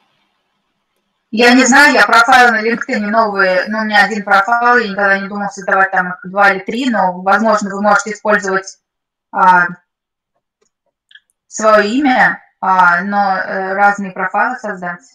Но я просто не представляю, как но это, будет выглядеть. Да, но это должны быть разные логины, Ань, да. а LinkedIn, по моему опыту, они тоже э, умные, они догоняют, что ты с одного компьютера почему-то используешь два разных логина. Вот, э, вот какие-то есть системы, которые на самом деле это разрешают, вот типа Facebook, по-моему, Facebook с этим как-то вот он э, вроде бы окей. А если ты с одного и того же вот девайса будешь разные профайлы на LinkedIn пытаться делать, э, LinkedIn может это не понравиться. То есть вот э, и вообще, на самом деле, вот есть такая тема, я ее тоже где-то упоминал, а, вот нужно пытаться вот как бы на это не нарваться еще. В интернете, вот в наше время, особенно вот там типа в COVID, а, достаточно большое количество fake resumes, которые написаны там где-то под копирку а, какими-то людьми, которые на самом деле – работать не хотят или не могут, они просто хотят вот как-то подоить систему. Вот, э, то есть там есть люди профессионально, которые пишут резюме, есть люди, которые э, профессионально ходят на интервью. Э, вот, то есть я бы пытался вот от этого держаться как бы на хорошем, на хорошем расстоянии, чтобы ни у кого как бы подобных сомнений не возникло вот в, в, плане, в плане игр.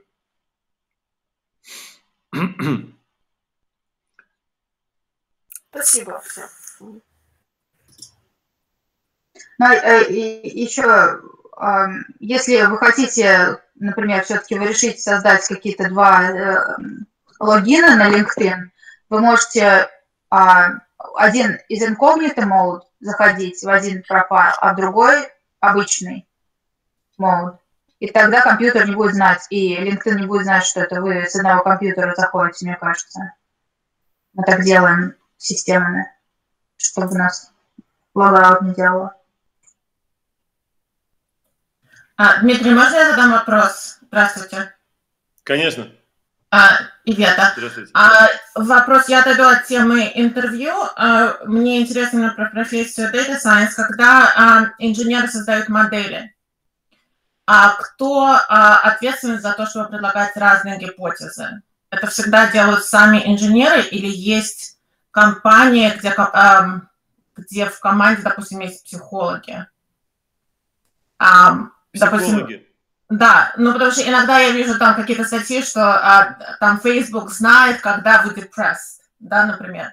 То есть, судя по тому, куда а, вы, ну они... вы ставите, они как бы делают такие заключения, допустим, про ваше здоровье или про ваше психологическое состояние. Mm-hmm. Мне интересно, а кто вот эти вот гипотезы выставляет изначально, да, это сами инженеры сидят и говорят, давайте проверим, как бы, вот человек, который смотрит фильмы Тарантино, а вдруг ему очень нравятся там, я не знаю, какие-то супер странные documentaries, да, то есть не просто да. а, то, что вы рассказывали сценарий, там, допустим, человек, который любит Тарантино, и он и фильмы с такими актерами, то есть там recommendation engine понятно, да, как работает, а вот гипотеза, которая абсолютно такие, можно сказать, random, а, кто их обычно выставляет?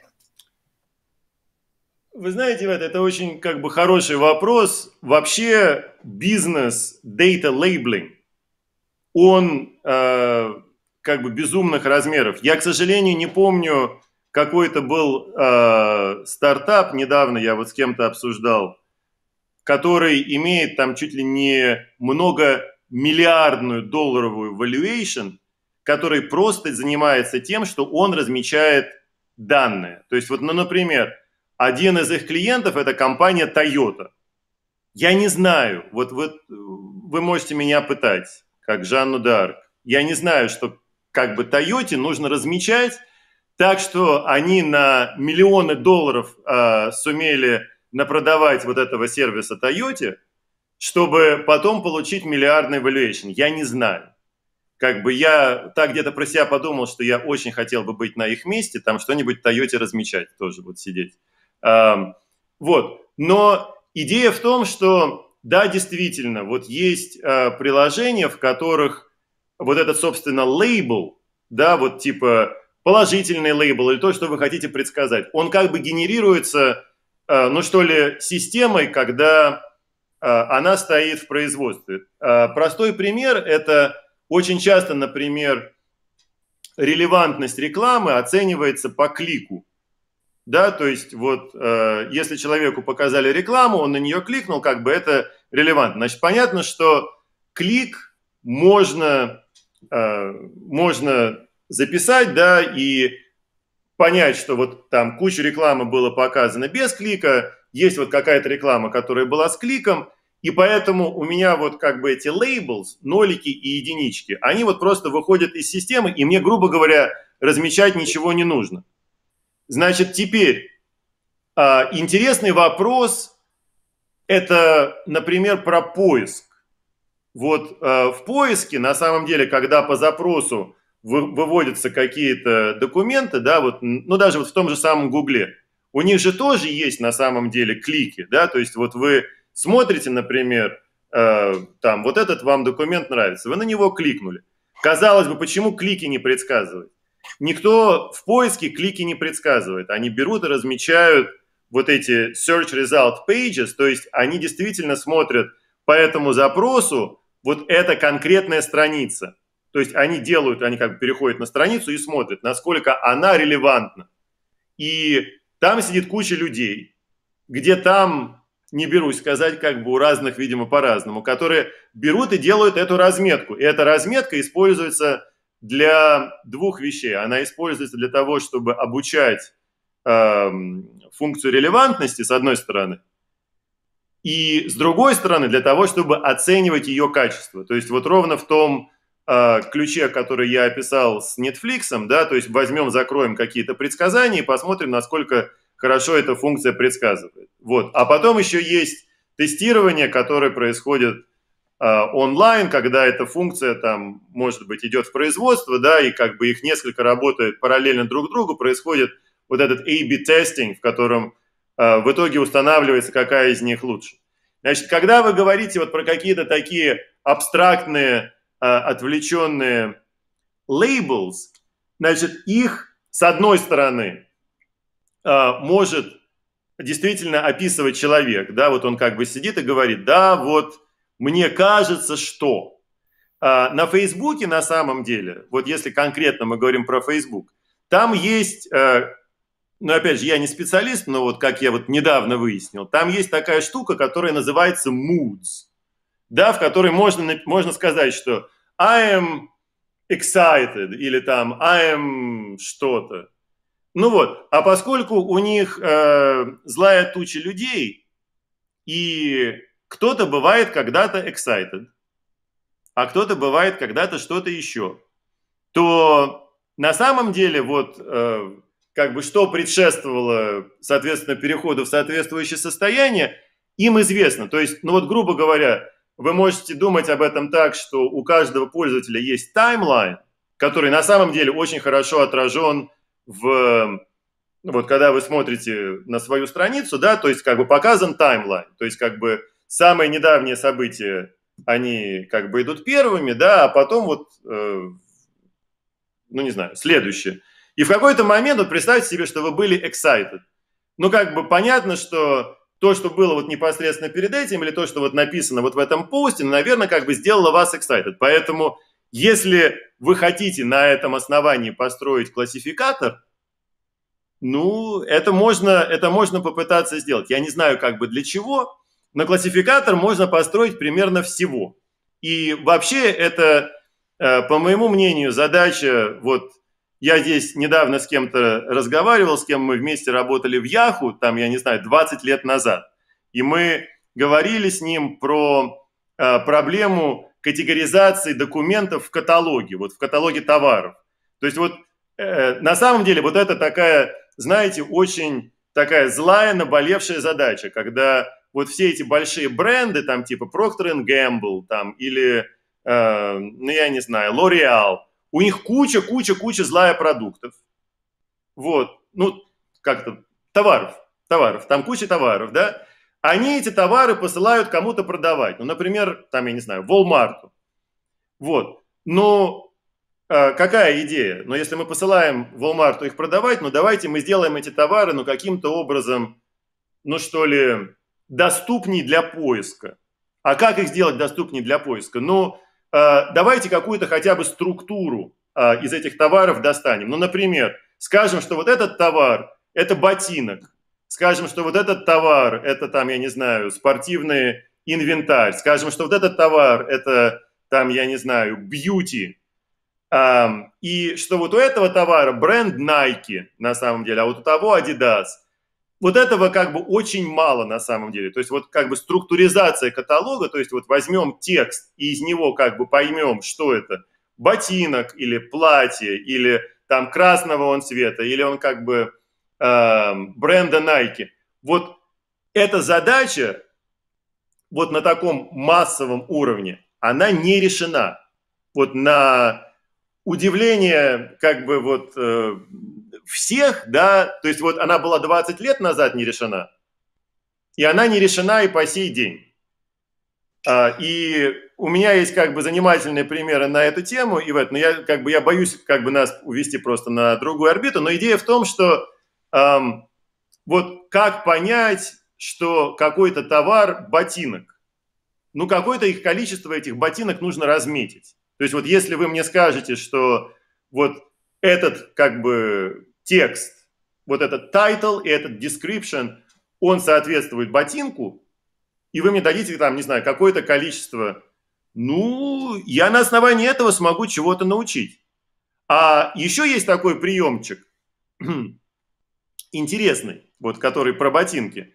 Это то, что на самом деле ботинки можно, понятное дело, э, классифицировать просто правилами. Ну, например, если в этом, в описании этого товара есть слово «шнурки», то значит это ботинок. Вот, и поэтому я теперь вот по всем документам пройду, найду там, где встречается слово «шнурки». И все, где встречается слово «шнурки», я скажу, что это ботинок. Буду я прав? Большинство времени, да, потому что там шнурки бывают, наверное, где-то еще, там типа кто-то еще что-то шнурует, и, это не ботинок. Вот, и на самом деле все системы, которые вот, э, классификации, которые были построены до machine learning и до data science, они вот были такие rule-based, то есть они как бы брали правила и применяли их э, к большому э, количеству документов, да, и пытались сказать, что вот если шнурки, то это ботинок, да, а если, ну я не знаю, что еще, если там sparkling water, то это как бы beverage, да, ну и, ну и понятно, что в большинстве случаев это все было как бы нормально и хорошо, но Нужно было делать исключения из этих правил, потом исключения из исключений. В общем, в итоге люди поняли, что на самом деле это все очень дорого, а, вот если это вот э, как бы так делать. И они пришли к идее того, что нужно строить на самом деле классификаторы, и эти классификаторы работали значительно лучше. Их было проще тренировать, их э, было проще поддерживать, но то, что было необходимо дать на входе, это нужно было дать какую-то выборку документов, которая была размечена ну, потому что без нее вот как вот этот bootstrap, да, вот, то есть э, получить начальную версию этого классификатора практически невозможно. Вот, но это какой-то такой длинный ответ на простой вопрос. На самом деле, э, как только что-то размечено, то да, как бы вперед из песни можно, можно пытаться тренировать классификатор. Ну, спасибо за ответ. Наверное, мой вопрос был немножко больше в сторону организационной структуры, да, то есть мне интересно, а если инженеры, так сказать, правят миром, или все не, не есть какие-то... Не, вс не всегда, Ивет, не всегда. То есть, то есть, а, да. Окей, спасибо. Инженеры, инженеры э, Ивета правят миром там, где им не на кого больше положиться. Значит, в принципе, как бы разметка, разметка данных – это такой достаточно тяжелый, кропотливый труд. Значит, если компания хочет заплатить инженеру кучу денег, там типа дейта-инженеру, с тем, чтобы он или она сидели, размечали данные, ну, как бы это можно сделать. Но я не думаю, что это очень хорошее... Ну, то есть, иногда бывает просто необходимость. Вот. И как бы я сидел, данные размечал. То есть вот я вот помню, что вот когда в поиске я работал в Яндексе, было очень классно. Мы сидели, размечали данные. Вот э, нас было там типа три или четыре человека, и мы пытались понять, почему мы никак не можем друг с другом согласиться там на каких-то вот, так, казалось бы, простейших примерах. То есть вот это показывает, что это на самом деле задача, э, несмотря на ее кропотливость и, казалось бы, прозрачность, она, в общем, не настолько, не настолько простая, как кажется. Вот особенно вот в таких вот, знаете, случаях, когда нужно там депрессию, например, предсказать, ну, непросто.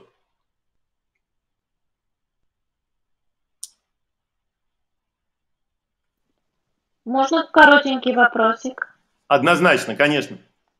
Спасибо. А, добрый вечер всем. А, у меня вопрос по поводу technical skills, которые содержат каждый job description. Я хотела спросить, в каком бы порядке по важности вы бы поставили, а, допустим, Python, SQL и R? Лариса, очень зависит... Или что-то, да. или угу. что-то еще, что я не, не, не, не, не перечислила. Лариса, очень зависит от позиции, на которую э, вы идете, от того, что люди хотят. Эм, я знаю, что очень много э, как бы пишется на Python, очень много пишется в R, SQL. Это может быть в какой-то как бы большей степени про э, как бы data analyst, э, не про data science, но как бы нужно смотреть на позицию. И эм, я бы сказал, что вот любая вот из этих вещей, э, Ларис, и я, я, я как бы вот этот ответ я его повторяю, но я считаю, что он важен. Любая из этих вещей, она выучиваема вот если вы сидите в кресле и вам говорят, Лариса, вот идите пишите на питоне, и вы на питоне никогда не писали. Я уверяю вас, что вы за две недели э, будете писать на, на питоне. Вот я, я вижу, что Юля со мной согласна, вот и как бы я вижу, что один человек, э, ну то есть как бы идея в чем, что вот если вы уже туда попали и вам сказали, вот напишите на питоне, вы на питоне напишите. Вы пойдете, вы найдете куски этого питона, вы поймете, как, я не знаю, как засетапить environment, как написать там типа что-то там, программу Hello World. Как только Hello World написано, да, а с этого все, все начинается. Мы знаем, что как бы как только написана программа Hello World, то дальше как бы все просто. Вот. И, э, ну то есть, Ларис, я, я не вижу как бы фундаментальных проблем. Как бы вот э, а, найдите job description той позиции, которая вы считаете вам подходит, вот, которую вы хотели бы получить. Посмотрите, что там написано. Там написано слово питон. Э, немножечко узнаете про питон. Так, чтобы вот вы на уровне, там, я не знаю, напишите мне программу, там, не знаю, построение, там, не знаю, метод минимальных квадратов, да, линейной регрессии, чтобы вы могли ее написать. А, я бы вот честно на этом, на этом остановился. Спасибо.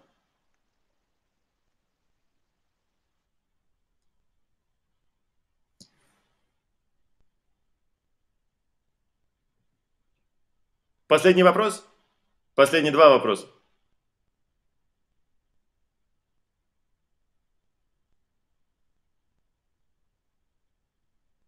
Можно, у меня короткий вопрос. Юлия. Ну, короткий. А, ну, так вы говорили, а, как бы вы описали, ну, вот там, человека, которого вы хотите в команду, или вот человек, которого вот, вы знаете, что вот он справится с задачей. Ну, то есть, как, не знаю, признаки или какие... Признаки человека, который справится ну, с да, задачей. Да, да, да. То есть, что для вас важно? Ну, просто. Юлия, понимаете, вот я про это отвечал э, в как бы в другом, в другом токе, я хотел бы, может быть, подчеркнуть следующее, что мне кажется, что вот на это нужно смотреть как бы с двух э, потенциально как бы разных сторон. Первая сторона – это э, technical skills, то есть придут люди, и они вам такие зададут технические вопросы, на которые нужно будет там какую-то или задачку решить, или какой-то кусок кода написать, и у каждого из них будет какая-то идея о том, что они тестируют. Да?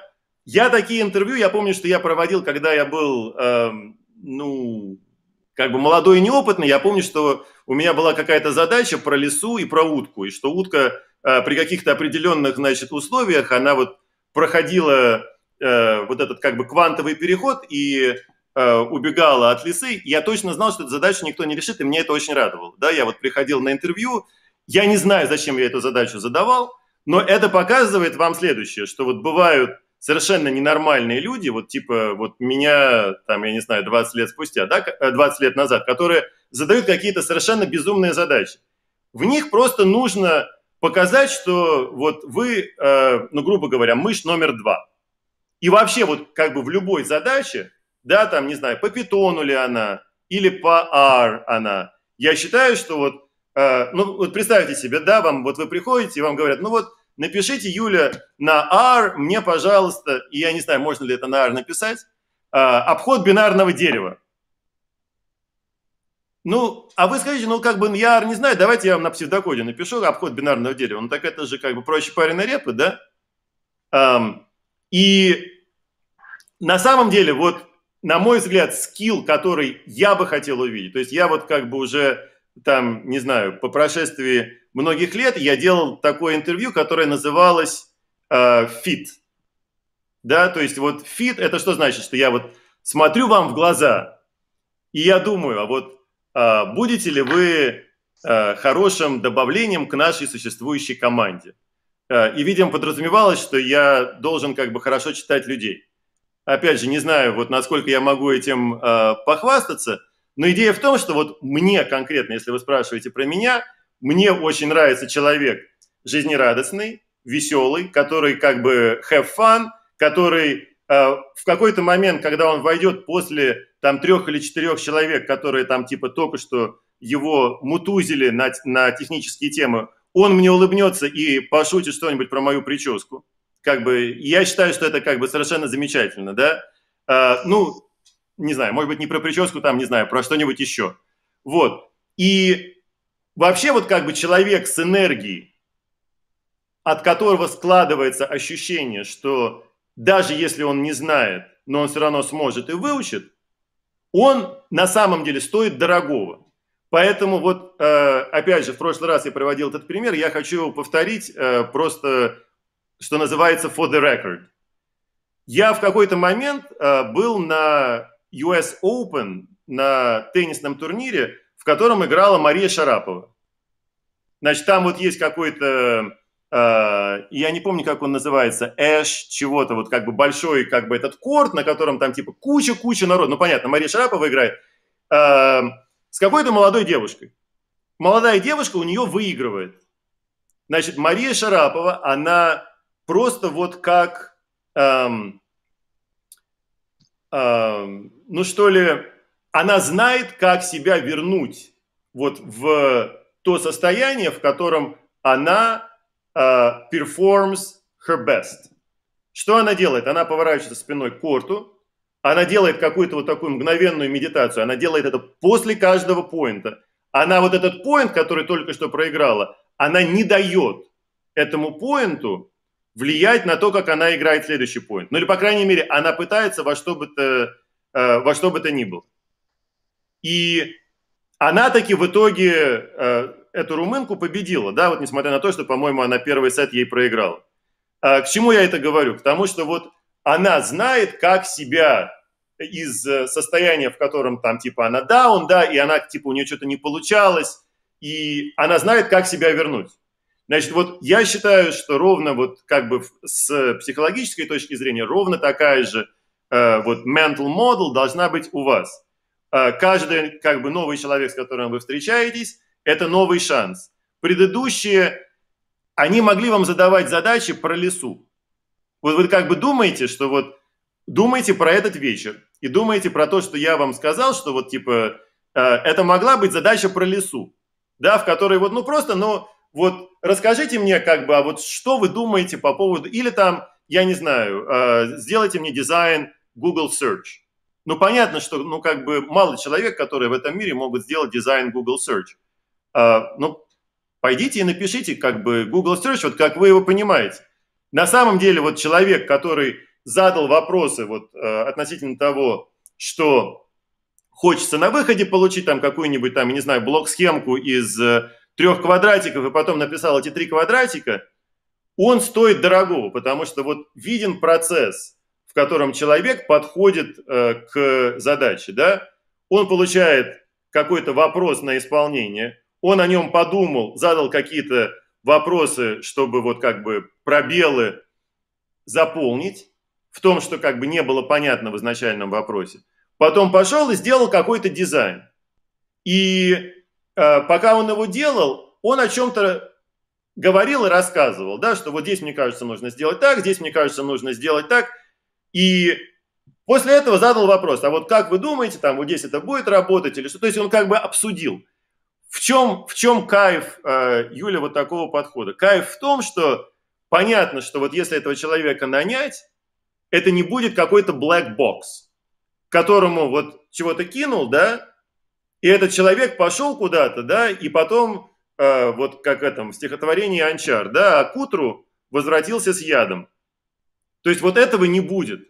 А это на самом деле главная проблема, вот поверьте мне, это главная проблема, которая есть у всех. Это то, что люди считают, что они, ну, как бы, это хорошо, когда они empowered, да, но перед тем, как быть empowered, нужно понять, как бы вот задать какие-то вопросы и понять, вот как бы я правильно понял задачу, да? А когда вы каким-то образом, там, не знаю, сделали какое-то решение или там, не знаю, дизайн, ну давайте мы его тоже обсудим, да, ну потому что, может быть, там типа кто-то что-то не понял. То есть вот в компаниях это встречается постоянно, кто-то чего-то не понял. И э, если кто-то чего-то не понял, а потом это сделано, ну как бы плохо всем. Тем, кто понял, и тем, кто не понял, и тем, кто понял, но не объяснил. Тем, кто не понял, но ему объяснили, но он все равно не понял. Поэтому вот если 10 раз спросить, и, я, я не шучу, то есть я вот честно говорю, если 10 раз спросить и вообще вот как бы обсуждать со своим вот, э, с человеком, который вам задал вопрос, вот как бы так активно, типа, ну вот я делаю так, я вот пишу вот это, это будет чрезвычайно, то есть вот на мой взгляд, я бы хотел вот такого человека, да, которого бы я знал, что э, что-то он знает, чего-то он не знает, но сможет узнать, как вот та профессор женщина. Я ее похвалил, я ей сказал, что она очень хорошо Википедию читает. Что we will make a good team together. Да, если я тоже вот, если меня тоже возьмут в Стэнфорд, то как бы we're gonna make a great team. Вот. И, и третье, да, это вот как бы communication skills. Да, э, как бы communication skills, энергия, позитивность, то есть вот это то, что хочу видеть я.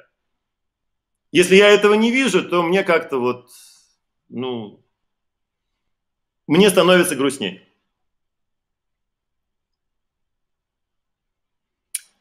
Давайте последний, последний вопрос, если он есть. А, Дмитрий, вы обмолвились, что через неделю будет какая-то еще типа лекция, как я может, я что-то неправильно да, поняла. Значит, это какой-то у вас курс лекций, я просто не в курсе. Можете рассказать? Я уже, я уже где-то, Лариса пошутила, что я как Кощей Бессмертный, я как бы делаю, делаю много чего и от этого получаю удовольствие. У меня на самом деле, значит, все объявления, которые я делаю, они находятся в группе uh, Perfect Match. Значит, вот ближайшая, uh, ближайшая встреча будет в понедельник, на которой просто будет Q&A Э, по поводу hiring, э, резюме, э, compensation, там, я не знаю, какие-то конфликты на работе. То есть это вот просто как бы такое открытое общение. А в четверг, через неделю, будет, эм, э, будет встреча по Data Science of Online Dating. Э, вот. И я еще как бы в раздумьях о том, что именно Э, что именно там сказать, но это вот как бы конкретное приложение, и я буду пытаться, что ли, его, его сделать reverse engineer, да, то есть вот э, попытаться рассказать, что я считаю находится вот как бы в начинке, и как на эту начинку можно влиять, если э, некоторые из нас пытаются найти э, как бы свою, э, свою вторую половинку. Вот. Um, ну вот, а так, э, в общем, если есть, э, как бы, я не знаю, произвольное пожелание, то, пожалуйста, напишите мне, э, и мы обсудим, что можно, там, не знаю, сделать, о чем поговорить. Я с радостью. А можно последний вопрос только про Data Science, не про интервью и так далее, про работу? Ну, да. Вот, а, ну я, я человек не технический, работаю в технических компаниях, но не технический, без технического образования. И пришла послушать именно про Data Science непосредственно. Вот, и вот ты в самом начале, когда ты говорил про всякие там, ну вот, э, разные примеры, это были все примеры о том, что мы знаем. Ну и, соответственно, мы базируем наши какие-то результаты базируются на том, что мы знаем. Но а, ну, интересно же узнать, что мы не знаем, правильно? И как бы в этом, я так понимаю, заключается вся а, соль дела, потому что мы знаем, это как бы известно. Вот, так вот, про те же красные кроссовки фирмы Nike. Если, а, я хотела задать вот такой вопрос. Задаются ли такие вопросы, ну, то есть я уверена, что не сдаются, но, вот, может быть, ты можешь как-то немножко elaborate, а, на тему, что вот а, пришел к тебе обратно этот покупатель с красными кроссовками фирмы Nike, но он их на самом деле купил, потому что он решил провести эксперимент, потому что он всегда покупает черные, а вот в этот раз решил купить что-то другое, красное. То есть это был его, так сказать, outlier в тот момент. Вот, то как бы привлечь его ну, будет ли, как бы, уместен такой вопрос, как бы, знаешь, как бы с самого начала, ну, как salesperson, скажем так, если он говорит salesperson, который пытается ему что-то продать, что понравились ли вам наши кроссовки? Да. А, на самом деле, Наташ, замечательный вопрос, и он очень глубокий. То есть, э, вот, если про него э, и э, может быть, если ты позволишь, вот в этом месте я скажу как бы несколько слов вот про э, интервью, просто чтобы подчеркнуть, вот эм, этот вопрос о том, что мы не знаем, чего мы не знаем, это на самом деле очень глубокое наблюдение именно в контексте Data Science. И э, причина этому, это вот если вы, например, вспомните этот Gumball машин, да, вот про который я рассказывал, в нем на самом деле было непонятно, какие цвета внутри находятся. Но мы как бы пронаблюдали 20 красных а что внутри, как бы его непонятно. Ну, то есть э, вполне могло так получиться, что Нюра туда насыпала сначала красных как бы из ведра, а потом у нее было еще ведро, например, с черными, да, и как бы в какой-то момент произойдет вот этот перехлест с красных на черные. Um, дальше. Uh, одна из задач, например, которую мы обсуждали, это задача, в которой есть uh, клики на рекламу. Так вот, утверждается, что если вот по этим кликам учиться, предсказывать клик, то на самом деле вот эти данные, которые сгенерировала система, в которой вот э, до этого э, люди или кликали, или не кликали, эти данные, они вот то, что по-английски называется biased. Biased – это как бы такой термин, который подразумевает, что ну вот ровно то, Наташ, что ты сказала, а именно, что мы не знаем то, чего мы не знаем. Ну, то есть, понимаете, в каждый момент текущая система, которая стоит в производстве, она какую-то рекламу показывала э, покупателям. Но была куча рекламы, которую она могла показать и не показала. А то, что она ее не показала, как раз означает, что, может быть, там-то вообще была гораздо лучшая реклама, которую можно было показать, которая на самом деле бы вообще всем понравилась, и там все бы кликали бы и покупали, и вообще там, я не знаю, было бы, не знаю, всемирное благоденствие, а его-то как раз и не произошло. Почему? Потому что мы показали какую-то рекламу, которую мы показали, а потом еще на этом научились. И понятно, что если мы на этом научились, то мы, может быть, ничему хорошему-то и не научились. Тут как раз можно про детей поговорить, да, что вот как бы им показывают, и чему они учатся, и чему они могли бы научиться, если бы вдруг им показывали бы что-то еще. Ну, в общем, давайте не будем про детей, там типа останемся как бы в рамках рекламы. Вот. Но, Наташ, твой, твой поинт, он абсолютно замечателен. И я считаю, что в этом месте, да, действительно, э, ты не знаешь того, чего ты не знаешь. И э, предсказать то, чего ты не знаешь, ну, как бы практически невозможно. Я считаю, что это хороший, замечательный вопрос, спросить, являет, то есть вот как бы вы купили это и понравилось ли оно вам. Но, Наташ, проблема в том, что у тебя есть, эм, ну как бы вот, э, как бы вот возможность или задать этот вопрос, или показать э, что-то другое, какие-то другие рекомендации этому покупателю. И в этом месте есть opportunity cost. То есть на самом деле вот тонкость э, того, о чем ты говоришь, заключается в том, что да, действительно, ты можешь принять решение, что и Amazon на самом деле это делает. Вот я как бы я за ними слежу, э, насколько я могу. Они, они хитрые. То есть вот, э, понимаете, да, они могут показать мне э, в какой-то момент, например, на домашней странице, когда я делаю туда логин, они мне могут показать какие-то товарные рекомендации. Они мне могут показать какую-то рекламу. А иногда они мне какие-то вопросы странные задают. И в этот момент я понимаю, что они понимают, что я у них ничего не куплю. На рекламу я не кликну, поэтому денег они никаких не получат. И действительно для них вот самое лучшее с точки зрения как бы утилизации – это задать мне какой-то вопрос, чтобы хотя бы что-то от меня получить, чтобы я там, не знаю, какие-то на какой-то вопрос им ответил, да, чтобы я вот, например, им сказал, что да, вот именно красные Nike кроссовки, потому что они подходят как бы под наше знамя, да, они, они вот самое оно. Для чего им это нужно? Им это нужно для очень простого, э, ну, для очень простой вещи, потому что если я подтвердил, что мне они нравятся, то тогда у них есть не только вот как бы события покупки, но у них есть еще explicit feedback – что да, это хорошие кроссовки, которые мне понравились. И если вы посмотрите на самом деле на то, что делает Amazon, я их обожаю. То есть вот э, обожаю, ну вот как бы, но странную любовью, понятное дело.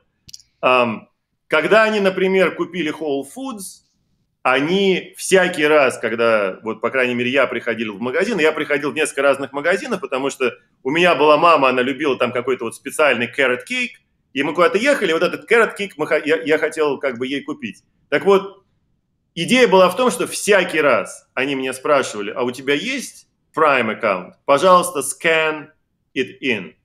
Зачем они это делали? Чтобы получить с меня данные. То есть вот execution с, точки, с этой точки зрения у них был, ну вот просто meticulous. И я их, я их за это люблю, потому что, ну вот, э, такого execution, э, как у них, ну вообще как бы вот качество, да, а, придумать сложно. Но у каждого вот этого события, которое они собирают, у него есть определенная value, как бы у него есть определенная значимость, и они знают, зачем они его собирают. Они его там типа к делу подшивают, а потом в какой-то момент э, они его используют. Но, Наташ, правда в том, что даже они не знают то, чего то, чего они не знают. И как бы узнать им сложно, потому что реально вот этих товаров, ну их э, сотни тысяч. И узнать поэтому сложно. Но чем больше они знают, тем они лучше. И на самом деле я не думаю, что я покупаю, там, не знаю, даже тысячу товаров, там, типа, ну, за жизнь, там, я не знаю, может быть. Но, в принципе, им вполне достаточно знать ну, хотя бы несколько покупок, чтобы делать какие-то выводы. И я уверен, что они делают выводы даже из вот этого carrot cake и из э, красных кроссовок, про которые я сказал. И на самом деле, как вы понимаете, да, красные кроссовки, они имеют значимость гораздо больше, чем красные кроссовки, потому что у них есть много людей, которые купили красные кроссовки, которым они понравились. А те люди, в свою очередь, могут быть гораздо более частыми и опытными покупателями на Амазоне. Поэтому, когда вам в какой-то момент предложат, ну вот как моему э, другу, там, вот он интересуется микроскопами. Вот если по отчаянию ему тоже бы понравились красные кроссовки, я бы не удивился, что мне бы стали предлагать микроскопы. Понимаете, да? Вот как бы вот просто, просто по аналогии. Вот если бы в данных было бы много поддержки того, что красные кроссовки с микроскопами, они идут вместе – то тогда бы нам вот всем, которые провинились на красных кроссовках, нам бы всем выдавали микроскоп. Ну, Amazon так и делает, кстати. Абсолютно. Очень часто я покупаю что-то, и оно мне предлагает абсолютно рандом став, что, которые были куплены вместе. И тебе, и тебе нравится, правильно? Ну, я подглядываю. Под, да, да, да. То есть вот э, опыт людей, по крайней мере, ну вот там чисто вот э, анекдотал, да, вот с которыми я это обсуждаю, это то, что там типа, вау, Amazon показал мне что-то, и типа такой класс, мне это понравилось. То есть вот у них вот этот э, exploration, который тебе предлагается, э, он, он на самом деле, на мой взгляд, ну, замечательный. Почему? Потому что у них много данных, и они вот делают вот этот как бы collaborative filtering, то, что называется, да, то есть вот предсказание из э, того, что они знают, в как бы то, что они предполагают, нам может понравиться. Вот ровно в стиле вот этого Netflix Challenge, про который мы э, говорили, да, что вот как бы вот это э, вы купили, теперь given то, что вы это купили, а что вам понравится дальше? И они делают на самом деле, на мой взгляд, очень-очень-очень good job at this. Хорошо, давайте э, мы на этом закончим. Большое вам спасибо, что вы пришли. Я вам очень рад. И до новых встреч. Спасибо. Спасибо большое. Всего доброго. Спасибо. До свидания.